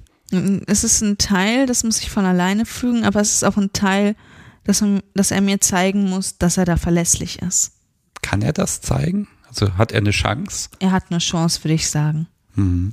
Nur die Sache ist halt, ja, die Gedanken habe ich mir auch schon gedacht. Habe ich jetzt eine Utopie im Kopf langsam? Äh, Oder habe ich auch einfach langsam zu viel Angst vor dem Ganzen, um es wieder zu probieren? Aber da bin ich mir unsicher. Ich versuche es auch immer wieder, nur die Sache ist halt einfach ein, ähm, ich muss auch auf mich selbst aufpassen. Ich kann nicht unendlich viele Schritte machen. Jetzt, da ja die Beziehung schon so ein Stück weit offen ist, es gibt ja auch dieses, das Vertrauen wurde, ja, es ist einfach gerade nicht da. Man könnte ja auch mit jemand anderem was probieren.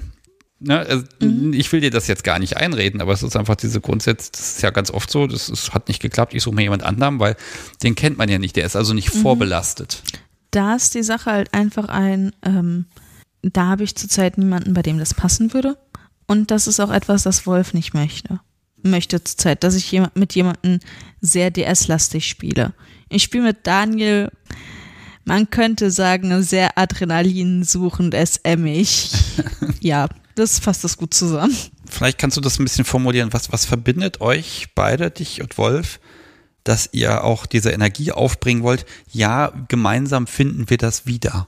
ein großer Teil ist dafür, äh, da für mich, äh, dass wir halt einander lieben und auch ein großer Teil ist halt einfach, dass wir zusammen eine Zukunft haben wollen und daran arbeiten wollen auch Schön, dass dafür. mal jemand dieses L-Wort endlich mal in den Mund nimmt.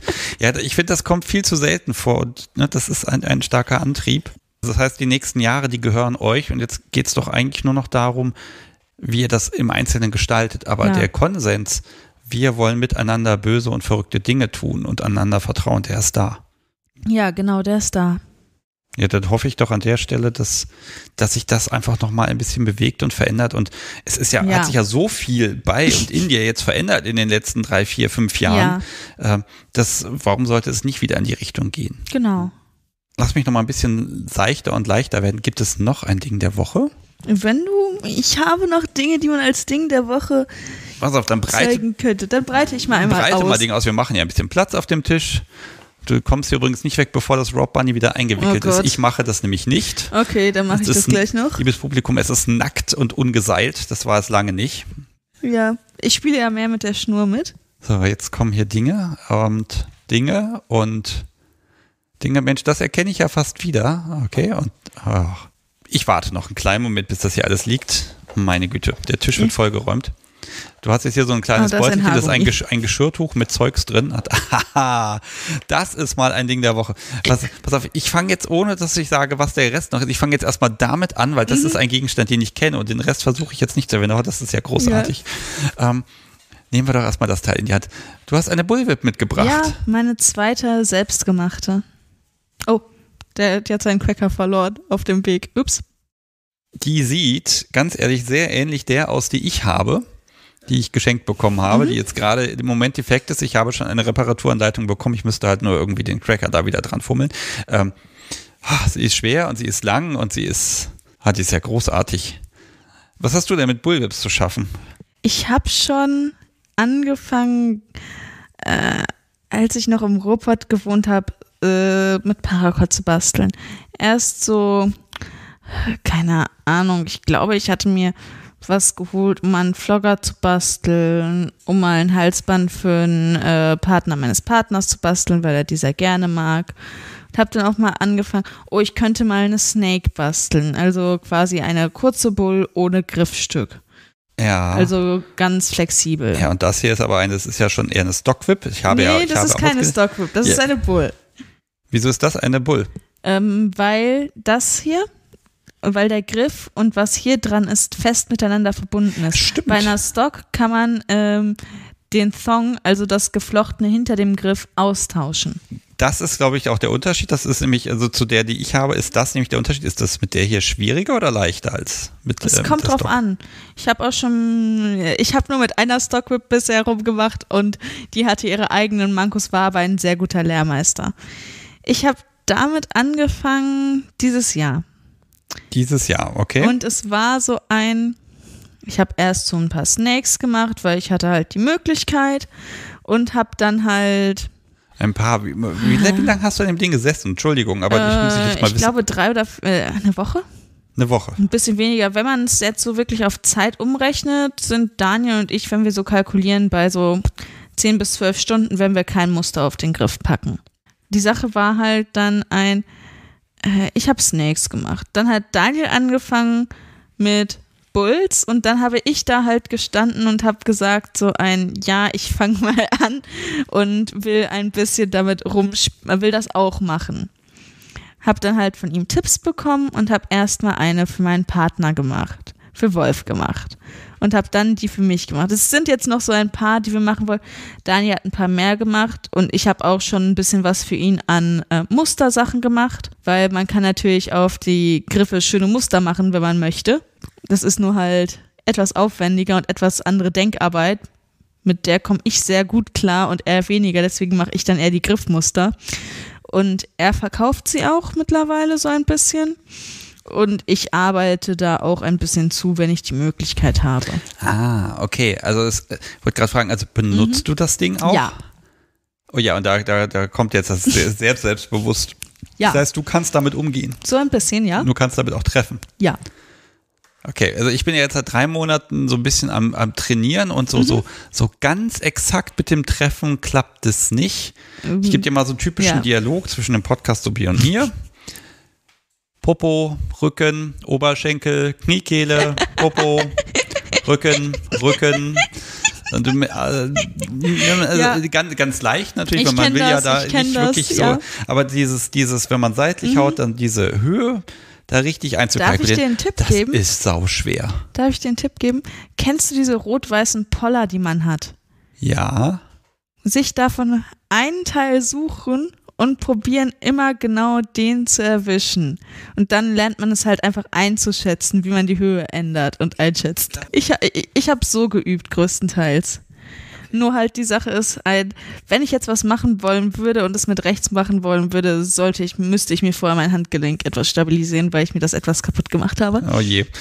Ja, also ich hab, ich, ich kann das auch bei so bei irgendwelchen Gegenständen, dann klappt das neun Mhm. von zehn Mal, aber ich vielleicht Ja. habe ich da einfach zu viel Respekt vor dem Podcast zu und das, aber es macht so einen unfassbaren Spaß. Und Na? äh, was besonders auch Spaß macht, ist ein Krach damit machen einfach. Und was sehr interessant ist, Kinder finden es super interessant. Alle anderen ignorieren einen. Also ich, im Garten übe ich ja auch ganz gerne mal und da, da stört mich das auch gar nicht, wenn irgendwer drumrum ist. Das Mhm. ist, ne, und wenn dann irgendwer im Weg steht, versehentlich so ein Podcast zu bieten, dann kann das Äh, schon mal passieren, dass man damit- sich ja. trifft. Ich habe damit auch schon äh, mit Daniel zusammen unten am Main gestanden im Park und habe da mit ihm zusammen geübt. Äh, Das Problem ist dann nur, wenn es dann etwas darin ausartet, dass da zwei Leute mit Bulls stehen, die einander treffen wollen. Das ist, wird dann irgendwann nicht mehr ganz so parkkonform. Ich habe ja meine von Stefan bekommen. Vielen Dank nochmal für das tolle Stück. Mhm. Aber er konnte natürlich erstmal die Perspektive erzählen, man haut. Und ich kann jetzt auch diese Perspektive erzählen, aber du lässt dich damit auch hauen. Ja, Magst du vielleicht mal beschreiben, wie das ist, wenn man mit einer Bulve es verhauen kommt wird? sehr drauf an, einfach womit man trifft. Ich bin jemand, ich habe auch manchmal meine Momente, wo ich stehe und sage, mach den Cracker ab. Ich möchte lieber, weil mir ist der zu dünn vom Schmerz her und der wird mir dadurch zu schneiden teilweise. Das ist ja wieder unter der Haut dann. Ja, was ich in dem Fall. Und die Sache ist dann halt, je nachdem, was man möchte. Man kann es ja kraftmäßig, besonders wenn man seitlich haut, sehr gut dosieren. Da kann es dann auch sehr schön rhythmisch sein und sehr schön was, wo man reinfallen kann. Und die andere Sache ist ja halt, äh, da knallt man ja sehr weit weg vom Körper, wenn überhaupt. Man kann ja halt auch auf die Idee kommen, dir sagt Forward Crack wahrscheinlich was. Ich weiß nicht, wie man das dem Hörer am besten beschreibt. Man, äh, man reißt sie quasi hoch und lässt sie dann wieder runterkommen, nach vorne. Ja, ich habe das war auch so eine der ersten Techniken, die mir beigebracht wurde. Man kann es auch so machen, dass man es gut genug einschätzen kann, dass man sowas dann auf einem Rücken macht. Das ist dann halt recht intensiv. Man kann es halt dosieren wieder, aber das ist recht intensiv und das ist dann sowas, wo ich stehe, so ein, jeder Schmerz reißt mich wieder so ein bisschen nach oben und es ist dann ein, dann wieder tiefer vom Kopf her wegdriften. Das ist so ein Schmerz, wo ich dann vollkommen im Moment bin und der äh, sehr intensiv ist und auch sehr nah an der zu viel Grenze. Aber das kannst du genießen. Oh ja. Der Rücken sieht danach auch entsprechend geschunden aus. Ein bisschen, es geht eigentlich. Ich hatte bisher noch keine, die davon aufgeplatzt waren.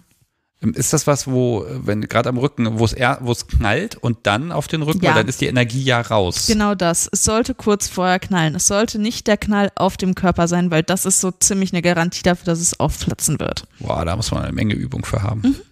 Ich habe das auch schon gemacht, aber nur auf Aufforderung von meinem, äh, von Daniel in dem Fall. So von, von der Zeit her, also ist das was, wo man dann da 10, 15, 20 Minuten haut oder ist das etwas, wo man eher nur eine ganz kurze Episode es hat? kommt immer drauf an. Ich bin jemand, der Zeit dazwischen gern hat zum Verarbeiten. Ich habe jemanden am- am anderen Ende stehen, der gerne viel machen möchte und den Menschen auch zum Teil überfordern möchte und oh, mehr Reaktion, mehr Reaktion, mehr Reaktion. Es kommt dann immer drauf an. Mit Pausen kann das schon länger sein, aber ich würde nicht sagen, dass das was ist, das über 20, 30 Minuten geht. Hm, Nee, aber dann nicht auch nicht länger. so pam, pam, pam, Nee. sondern eher so 10 Pam. Sekunden dazwischen. Ja, die Sache ist, man muss halt auch immer wieder neu einschätzen, die Entfernung, wo möchte man genau treffen. Ja, diese kleinen Biester oder diese großen, langen Biester sind halt schon, Temperamentvoll. ja, aber wenn man mit ihnen umgehen kann, dann Sehr schön. kann man wohl viel Spaß haben. Ich arbeite noch dran. Jetzt mag ich aber unbedingt dieses andere Ding der Woche anschauen und zwar immer noch Welches? nicht das, noch das, was erstmal nochmal nicht so spektakulär ist. Du hast mir eine Peitsche mitgebracht aus ja, Seil. das war mit einer meiner Oh. ersten Vlogger, Aber- die ich auch sehr gerne benutze. Ja, da sind unten Taglinge drauf und ja, teilweise müsste ich sie mal erneuern. Es sei mir nicht böse, so ein Mhm. bisschen sieht aus, aus wie so eine Gardinenkordel. Entschuldige bitte. Das, also das ist aber, das ist geflochten und zwar ewig viel. Da sitzt man da auch wieder Wochen dran, bis das Mhm. nee, irgendwie so ich glaube, das waren zwei, drei Abende. Auch das sind bei, bei mir wären das trotzdem Wochen, bis ich, das dann fertig jem- ich ist. bin jemand, der sehr, sehr gerne bastelt und auch sehr, sehr gerne flechtet dabei. Das war, das ist auch immer noch mit einer derer, die ich am liebsten selber benutze. Ich kenne genug Leute, die ihn gar nicht mögen, einfach weil ihnen der Griff zu äh, wabbelig, ist. wabbelig ist. Ja, ich, ich hau mal so ganz vorsichtig auf meinen Arm und ach, das ist aber, ist aber nett. Ja, Also das ist so ein, so ein, so ein Warmhauen. ja, kann man schön mit. Kann man halt auch länger einfach mit. Und es ist angenehm. Es ist angenehm zu benutzen, es ist angenehm zu fühlen. Ich habe auch ein paar gebastelt, die biestiger sind, aber das ist halt so ein, den mag ich, äh, ist zurzeit einer meiner, äh, ich glaube, der erste, den ich gebaut habe, den ich auch noch gerne selber benutze. Weil äh, meine aller, aller, allerersten Flogger habe ich aus Scooby-Doo-Bändern geflochten. Scooby-Doo, ach, das sind diese super dehnbaren Bändchen, Nee, ne? die Diese- kleinen, die kleinen Plastikbändchen, die dünnen. Ja, ah, Mhm. ah, oh Gottes Willen. Ich kürz, ich mag dem ja eigentlich noch ein bisschen Zeit anräumen, aber weil ich A, die Mhm. Uhr sehe und B, sehe ich hier, Du siehst das hier. du hast mitgebracht, ich finde es groß, ein liebes Publikum, das ist die ich habe es ganzen auch, auf, Shows. ich hab's auch auf, aus Praktikabilitätsgründen mitgebracht, so ein bisschen. Ja, also äh, ich sage erstmal ganz kurz, also liebes Publikum, äh, schaut in die Shownotes, da findet ihr Bilder und da findet ihr das erste Mal ein Bild von, ja, Schuhputzzeug. Großartig. Und zwar hier ist das Döschen mit dem, mit dem, mit dem Wachs.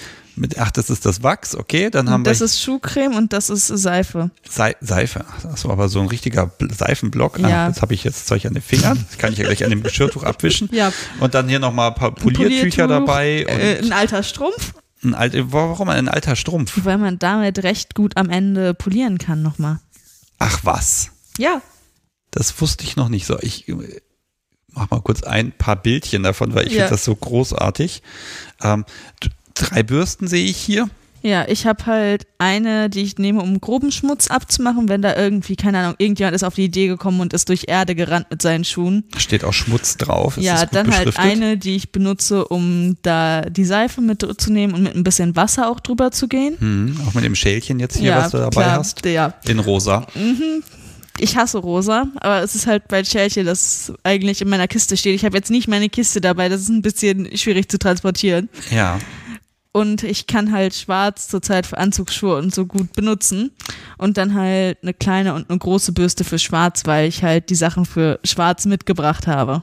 Und dann mit dem Strumpf wird noch poliert. Äh, jetzt, das hast du ja nicht mitgebracht zum Spaß, sondern weil das, das ist für dich Kink. Ja, es ist für mich zum Teil Service, aber es ist halt auch für mich ein Stück Geschichte.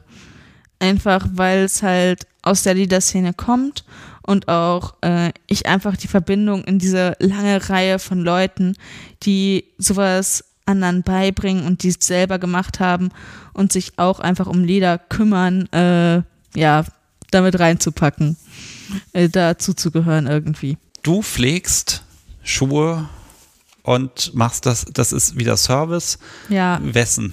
Kommt drauf an. Das ist was, das ich sowohl öffentlich auch auf Partys oder ähnliches mache, aber ich mache das auch gerne privat für jemanden. Ich habe mir von Leuten, bei denen ich das gemacht habe, sagen lassen, dass sich teilweise auch anfühlt wie so eine Fußmassage durch den Schuh hindurch. Und es ist halt, es kann halt auch eine sehr deessige Komponente machen, weil wenn man Schuhe aufpoliert, braucht man ein bisschen was an Feuchtigkeit. Man kann dann natürlich das man kann natürlich ein Tuch nehmen und das ein bisschen im Wasser dippen. Man kann das natürlich machen und damit spielen, dass man dann die Schuhe küsst, dass man die Schuhe ableckt und ähnliches. Oder auch natürlich, man kann da auch mit anderen Flüssigkeiten wahrscheinlich was machen. Damit habe ich jetzt noch nicht rumgespielt. Ja, aber das, das, das, was, was ist das für dich? Weil auch da, ich sehe jetzt schon wieder, also dein Herz geht gerade auf. Also ich habe so das Gefühl, wenn ich dir jetzt hier äh, Schuhe hinstelle, dann, dann würde es dich schon zucken. Oh, da, da könnte man jetzt sich mal Kommt beschäftigen. drauf an. Ich mache das einfach teilweise gerne. Es ist halt so ein, wie man sieht, eh, meine Hände stehen seltenst still. Ja. Und das ist halt was, das ich gerne mache. Das ist halt auch ein bisschen was, was ich gerne lerne einfach, weil äh, man kann darüber viel lernen. Ich bin definitiv noch am Anfang von dem, was ich mache. Aber es ist halt so ein, es ist Service, es ist was gut machen. Ich mag die Geschichte, die dahinter steht, einfach aus der Lederszene kommt und auch einfach dieses, man kann es DSiger und BDSMiger gestalten, wenn man möchte. Ich habe definitiv auch immer noch so eine Fantasie irgendwo rumspuken, äh, in einem entweder weiblichen oder nicht-binären Top äh, irgendwie die Schuhe schön zu machen ent und entweder davor oder danach damit äh, zusammengetreten zu werden. Ich, ich sag dir mal meine Verbindung zu, zu Lederschuhen, gerade auf einer Party, ne? Vorher, da gehe ich dann nochmal drüber mit natürlich mit dem Schwämmchen, mit der Schuhcreme vereint, also die einfache mhm. Variante und danach wird mal ein bisschen drüber poliert, um sie einfach schön zu haben, weil das einfach dem, dem festlichen Anlass ein bisschen entspricht. Ja. Ne? Dieses Ne? Das, das darf halt schön sein. Mhm. Und für dich, ich, ich habe gerade so ein bisschen das Gefühl, wenn du ne, so, eine, so eine kleine Veranstaltung, so ein kleines Eckchen für dich, wo du Schuhe aufpolieren kannst, wo das, das hätte schon, das, das wäre dein Ort an dem Abend. Ja, das kann ich gerne machen, mache ich gerne. Nur ich brauchte halt jemanden, der da erinnert, äh, steh mal auf, trink noch mal was. Da, weil das ist was, da kann ich mich so ein bisschen drin verlieren. Und was da auch mir wichtig ist, ist so ein, ich möchte nicht mit jedem wirklich weitergehen spielen, für den ich das mache. Also es kommt dann gar nicht so drauf an, ob du dann den einen speziellen Menschen sympathisch findest, sondern da geht es darum, ja. das ist deine Aufgabe, das ist ja. deine Dienstleistung, dein Service. Und der soll auch perfekt mhm. sein. Soll, möglich, soll so gut sein wie möglich. Ähm, was ich zum Beispiel einmal hatte, ich hatte jemanden, der dann auf die Idee kommt, ja, ich belaste die Füße extra, während die bei mir halt auf dem Oberschenkel standen, um mir weh zu tun. Und ich schon so, mm, ungerne, weil ich in dem Moment, ich wollte und will mit dieser Person nicht spielen. Und wenn du das jetzt aber spielend in den BDSM-Kontext einbindest, also was, was ist es dann für dich? Also ist das Service für die Person oder ist es eher, ich möchte, dass diese Schuhe schön aussehen? Also es kommt drauf an. Wenn ich das wirklich in den WS-Kontext einbinde, dann geht es mir dabei um die Person, dann geht es mir darum, dass es für diese Person möglichst gut ist, dass ich das genauso mache, dass es ihr gefällt. Ja, ich sehe auch gerade so, so, so ein ja, so, so, so ein, ja, so ein bisschen Melancholie im, im Blick gerade. So ein, so ein, ach, ja, da fühle ich mich wohl, da, da, da komme ich gerade an. Ja, das, und es ist halt was, dass ich dadurch einfach auch, dass es wenig an Veranstaltungen gab, kaum um, umsetzen konnte. Und auch dadurch, dass es wenig DS-Kontext gab, da wenig umsetzen konnte. Ja, also es fehlt dir einfach auch gerade so ein bisschen. bisschen, ja. Vielleicht kann ich das ja ich überlege, weil ich nächstes äh, Wochenende mit ein paar Leuten unterwegs bin, die Kiste wieder mitzunehmen. Mal sehen. Ich glaube, wenn sie da ist und du das Angebot machst, wer sagt denn da schon nein? Jetzt hast du gerade gesagt, die Fantasie, dann damit getreten zu werden. Ja. Was ist das? Also hat das mit dem Putzen zu tun? Es, oder hat, es hat sich ist so das ein, losgelöst. Es hat auf jeden Fall auch mit dem Putzen zu tun. In dem Fall, es ist auch losgelöst, schön, aber mit dem Putzen hat es halt so für mich so ein bisschen ein Kreis von, äh, ich kümmere mich um auch das, was mir weh tut. Ich kümmere mich um eigentlich was, was für viele dann etwas Verhasstes wäre. Weil die wenigsten Leute, okay, im BDSM-Kontext mehr mögen, was ihm weh tut. Und das ist auch für mich so ein bisschen so ein, ähm, jemand anderes hat für mich was getan und ich gebe etwas zurück. Glorifizierst du da vielleicht dann auch das Ding, was dir wehtut, ein bisschen? Ich ein meine, bisschen, Nadeln kann bestimmt. man ja nicht polieren und ein Skalpell auch nicht. Eine bestimmt auch. Eine Peitsche und aber Rohrstöcke und Co., das kann man ja alles pflegen und wässern und bereitlegen ja. und also diese ganze Vorbereitung auch vielleicht. Es kann schön sein. Ich habe ja auch schon mal gesagt, ich habe früher viel mit Ritualen gemacht und ich finde sowas eigentlich auch recht schön, nur es muss halt mit der Person passen. Ja, lass uns da vielleicht mal so als, als letzten größeren Punkt heute noch mal ein bisschen mhm. bei Ritualen einfach schauen. Also was, was für Rituale, also das Schuhe putzen, mhm. also ist, eigentlich ist es gar kein Putzen, es ist ein Polieren. Ja. Ähm, das, das kann ein Ritual sein, aber mhm. was macht ein Ritual mit dir? Ist das eine Vorbereitung auf das, was kommt, eine Vorfreude? Das, aber es kann auch einfach so ein, es festigt das, was da ist. Viele Rituale, die äh, da waren, waren für mich Teil des DS-Gefüges. Zum Beispiel so ein, äh, ich habe ihm die Schuhe zugebunden, wenn wir aus dem Haus sind und zusammen waren. Das war so ein Anhalten, Innehalten, ein ihn vor mich stellen und wieder daran erinnert werden was für ein Gefühl löst das in dir aus? Also ich frage aber dir so oft nach Gefühlen, weil ja. ganz häufig ist das dann so, ja, das macht mich geil, da laufe nee. ich aus, danach bin ich spitz wie, weißt du? Und diese Komponente, die, die ist ja bei dir eben nicht diejenige, die nee, zählt. Das, Und diese, ja. dieses innere Ankommen offenbar. Ich versuche das Mhm. die ganze Zeit ein bisschen plastisch zu machen, weil ich, ich sehe es Ja. in dir, dass du da einfach Mhm. innerlich dahin schmilzt. Das ist vielleicht ein Ausdruck von Romantik. Jetzt kann es auch sein, aber für mich ist es so ein Zugehörigkeit, es ist so ein, hier wo ich bin, bin ich richtig. Es ist gut, was ich tue. Ich habe das andere auch, das ein, es macht mich geil, ich werde spitz davon. Das ist was, das bei mir viel durch Schmerz und viel durch Adrenalin kommt, aber das ist sehr, sehr wenig in meinem DS drinne. M, DS ist für mich einfach sehr viel Ruhe und Ankommen einfach. Versuch das mal zu transportieren. Vielleicht kann man sich das vorstellen wie einfach wie eine Umarmung. Fest. Ja. Man hält sich, man hält sich im Arm und hält sich einfach mal fest und atmet mal durch. Ja, und diese Rituale waren so halt einfach dadurch, dass sie da waren, so ein quasi eingeplantes Durchatmen. Was unterscheidet denn so ein Ritual von einer Regel? Mm, Ein Ritual hat meistens, äh, ist eine spezielle Handlung, es ist kein Verbot oder irgendwas. Und äh, es ist was, das sich teilweise einfach in Anführungsstrichen ergibt, was sich zusammenfügt, was äh, organisch wächst, was bei Regeln meistens bei uns weniger der Fall war. Das war so eher so ein, oh, ich habe da noch mal was und das, ja, Regeln verändern sich auch organisch, aber das war so ein, es kam zu festen Zeiten immer wieder. Eine Regel findet dann Anwendung, wenn sie Anwendung findet. Ein, ich frage nachdem, wenn ich aufs Klo muss, wenn ich aufs Klo muss. Das hat nichts damit zu tun, dass es jetzt so ein, immer wenn ich aus dem Haus gehe. Oder ähnliches. Ich versuche das nochmal abzugrenzen, weil, ne, also das, das, Das ist schwierig. Ja, Regel ist halt ein, ähm, es hat Konsequenzen und das Ritual ist ein, das ist vereint die Konsequenz in sich, also es ist der Akt als solches und er hat ist Ja. nicht durch Konsequenzen bedacht, sondern ähm, es ist ein Hilfsmittel, um auch das Mindset zu Mhm. Ja. finden. Die Sache, die es doch etwas komplizierter macht, ist, ähm, ich hatte eine Regel, die sich auf ein Ritual bezog. Ähm, ich hatte ein Mantra von meinem Partner und äh, habe mich quasi jeden Abend und jeden Morgen neu versprochen, quasi in diesem DS, dass ich das möchte. Okay. Und äh, da gab es Konsequenzen, wenn es nicht da war. Also das Mantra war, dass du dir sagst, dass du das möchtest. Ja, es war, es waren rituelle Worte. Ich weiß nicht mehr, ob ich es ganz auf die Kette bekommen würde. Ich kann es gleich mal probieren. Es war so ein, es musste da sein, kniend aufgesagt, entweder persönlich oder halt Sprachnachricht, Video, was auch immer in dem Moment gepasst hat. Okay. Und wozu war das da? Es war halt zum Erinnern an die Dynamik und auch halt einfach zum Festigen dieser Dynamik da.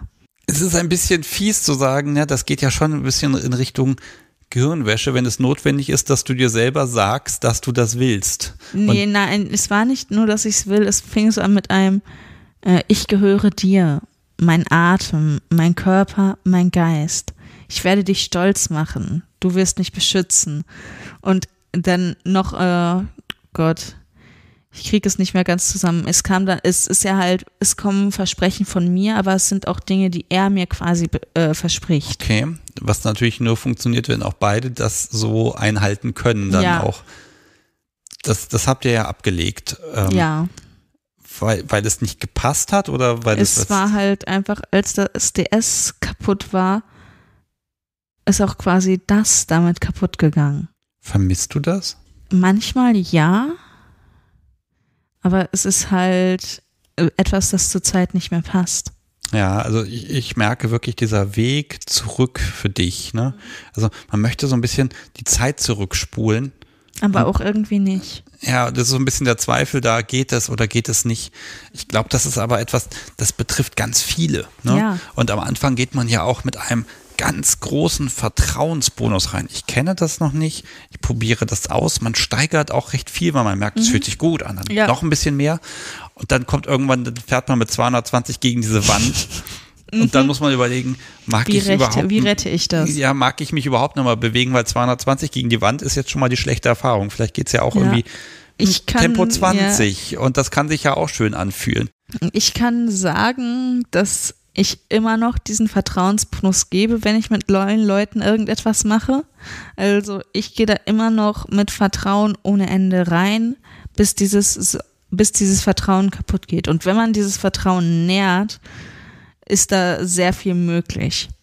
Jetzt vielleicht gucken wir da noch mal, wenn du jetzt sagen würdest, so ganz kleine Schritte, man könnte ja mal ganz klein anfangen.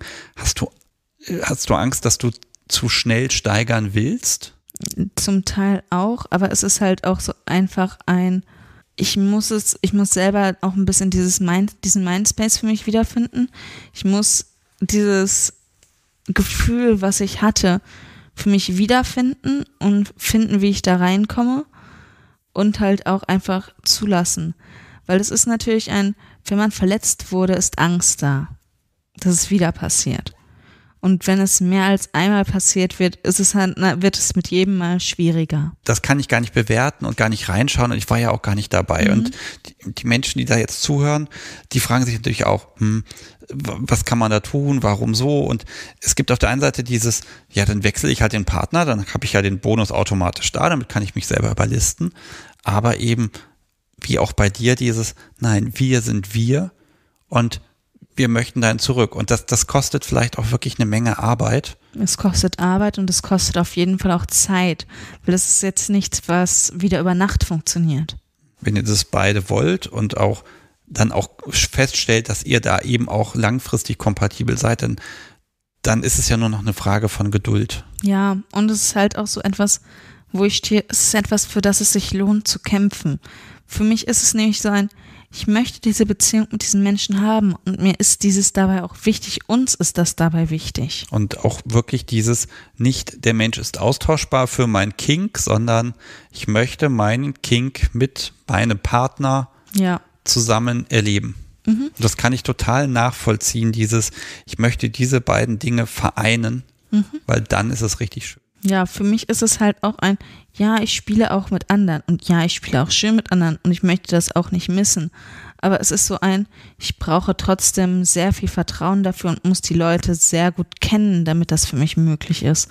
Zum Beispiel jetzt Daniel, ich bin vor, keine Ahnung, zwei Jahren ins Rhein-Main-Gebiet gezogen, kannte ihn schon gefühlt ein Jahr oder ein halbes Jahr vorher und habe dann irgendwann, also ich kannte ihn, keine Ahnung, zwei Jahre bevor ich überhaupt angefangen habe, mit ihm zu spielen. Ja, du kannst, du hast es ja erwähnt, ne, auf Partys, man kann schon mal mit jemandem ein bisschen spielen, ja. aber das ist dann eher so, so, ich sag mal, rumflachsen so ein bisschen. Ja, ja ich, wir hauen kann, mal ein bisschen ja. und lachen gemeinsam. Ja, oder ich kann mich auch, ich kann mit jemandem raufen und mich dabei auspowern und kann dabei auch recht weit gehen, aber es ist so ein, es ist nochmal an, was anderes zu sagen, wir treffen uns jetzt dafür, wir wollen dabei was äh, zusammen machen und so weiter. Seva, ich gucke so ein bisschen hier auf die Uhr. die macht mich ja schon wieder nervös. Ich, ich, schlag, ich habe eigentlich noch zwei, drei, vier kleine Sachen auf meinem Zettel. Die werden wir heute nicht mehr angucken. Aber ich, ich glaube, wir hören uns eh noch mal wieder. Da schnappen, vielleicht hast du, hast du Lust auf noch mal, vielleicht hast du noch mal Lust auf eine Live-Sendung. Mal schauen. Können wir ein bisschen ergänzen, mal mhm. schauen. Also äh, müssen wir mal gucken. Oder, oder gibt es noch was, wo du sagst, das ist dir jetzt noch ganz wichtig? Das möchte ich heute hier noch mit einbauen. Was ich sehr amüsant fand in der Entwicklung ist so ein, ich bin so dem letzten halben Jahr von, ich bin nicht mal so zu ein, ja, bitte tu mir weh gegangen. Das ist so ein, Menschen können sich sehr stark verändern, was auch halt einfach auf das Umfeld ankommt auch, und auch und halt auch einfach auf das, was man möchte und braucht quasi in dem Moment.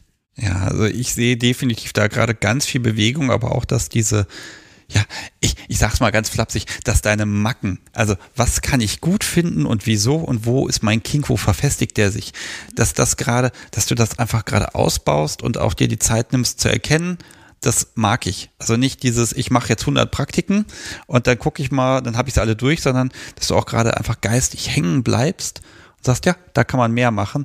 Und der Duft von dem Schuhputzzeug gerade, und das ist ja so auch so ganz spezieller Duft, also da werden ja noch mehr Sinne angesprochen, äh, dass, äh, dass du dir gerade auch die Zeit nimmst zu sagen, okay, das sind Dinge, die entwickle ich weiter und die kann ich auch nochmal ganz anders mit Erotik und äh, aufladen vielleicht, äh, was heißt Erotik, aber mit, mit Hingabe aufladen, um sie weiter auszubauen. Ja. Das finde ich total schön, jetzt heute einfach mal auch so einen kleinen Blick drauf zu werfen. Ich glaube, dann erzählen wir doch einfach dem Publikum nochmal, wie man dich kriegt und wo man auch das eine oder andere von dir sieht. Ja, man findet mich auf jeden Fall auf äh, FetLife auch unter dem Namen Ceva. Und man findet mich auch auf Twitter. Da muss ich gerade nachschauen, unter welchem Handle. Schau, schau mal nach. Ich erwähne in der Zwischenzeit, C war, ja. dass man dich mit C schreibt und nicht mit Z, wie das komische, wie, wie den Lappen. Ja, das ist wichtig. Ähm, C war 1308 auf Twitter. Okay, ich packe das beides aber auch nochmal in die Shownotes rein, Mhm. äh, dass man dich da findet. Und ja, dürfen dich Menschen anschreiben oder sollten sie es lieber lassen? Wenn Sie damit leben können, dass ich manchmal etwas brauche und, und teilweise schüchtern bin, ja, können Sie mich gerne anschreiben. Okay, dann liebes Publikum, also wenn ihr möchtet, schreibt und vielleicht kannst du mir gleich noch hier nach der Aufnahme erzählen, wie ich meine Schuhe tatsächlich auf Hochglanz kriege, weil ich finde immer, die sind ein bisschen stumpf, wenn ich da fertig bin. Vielleicht habe ich auch noch nicht die richtigen Strümpfe dafür. Müssen wir mal gucken.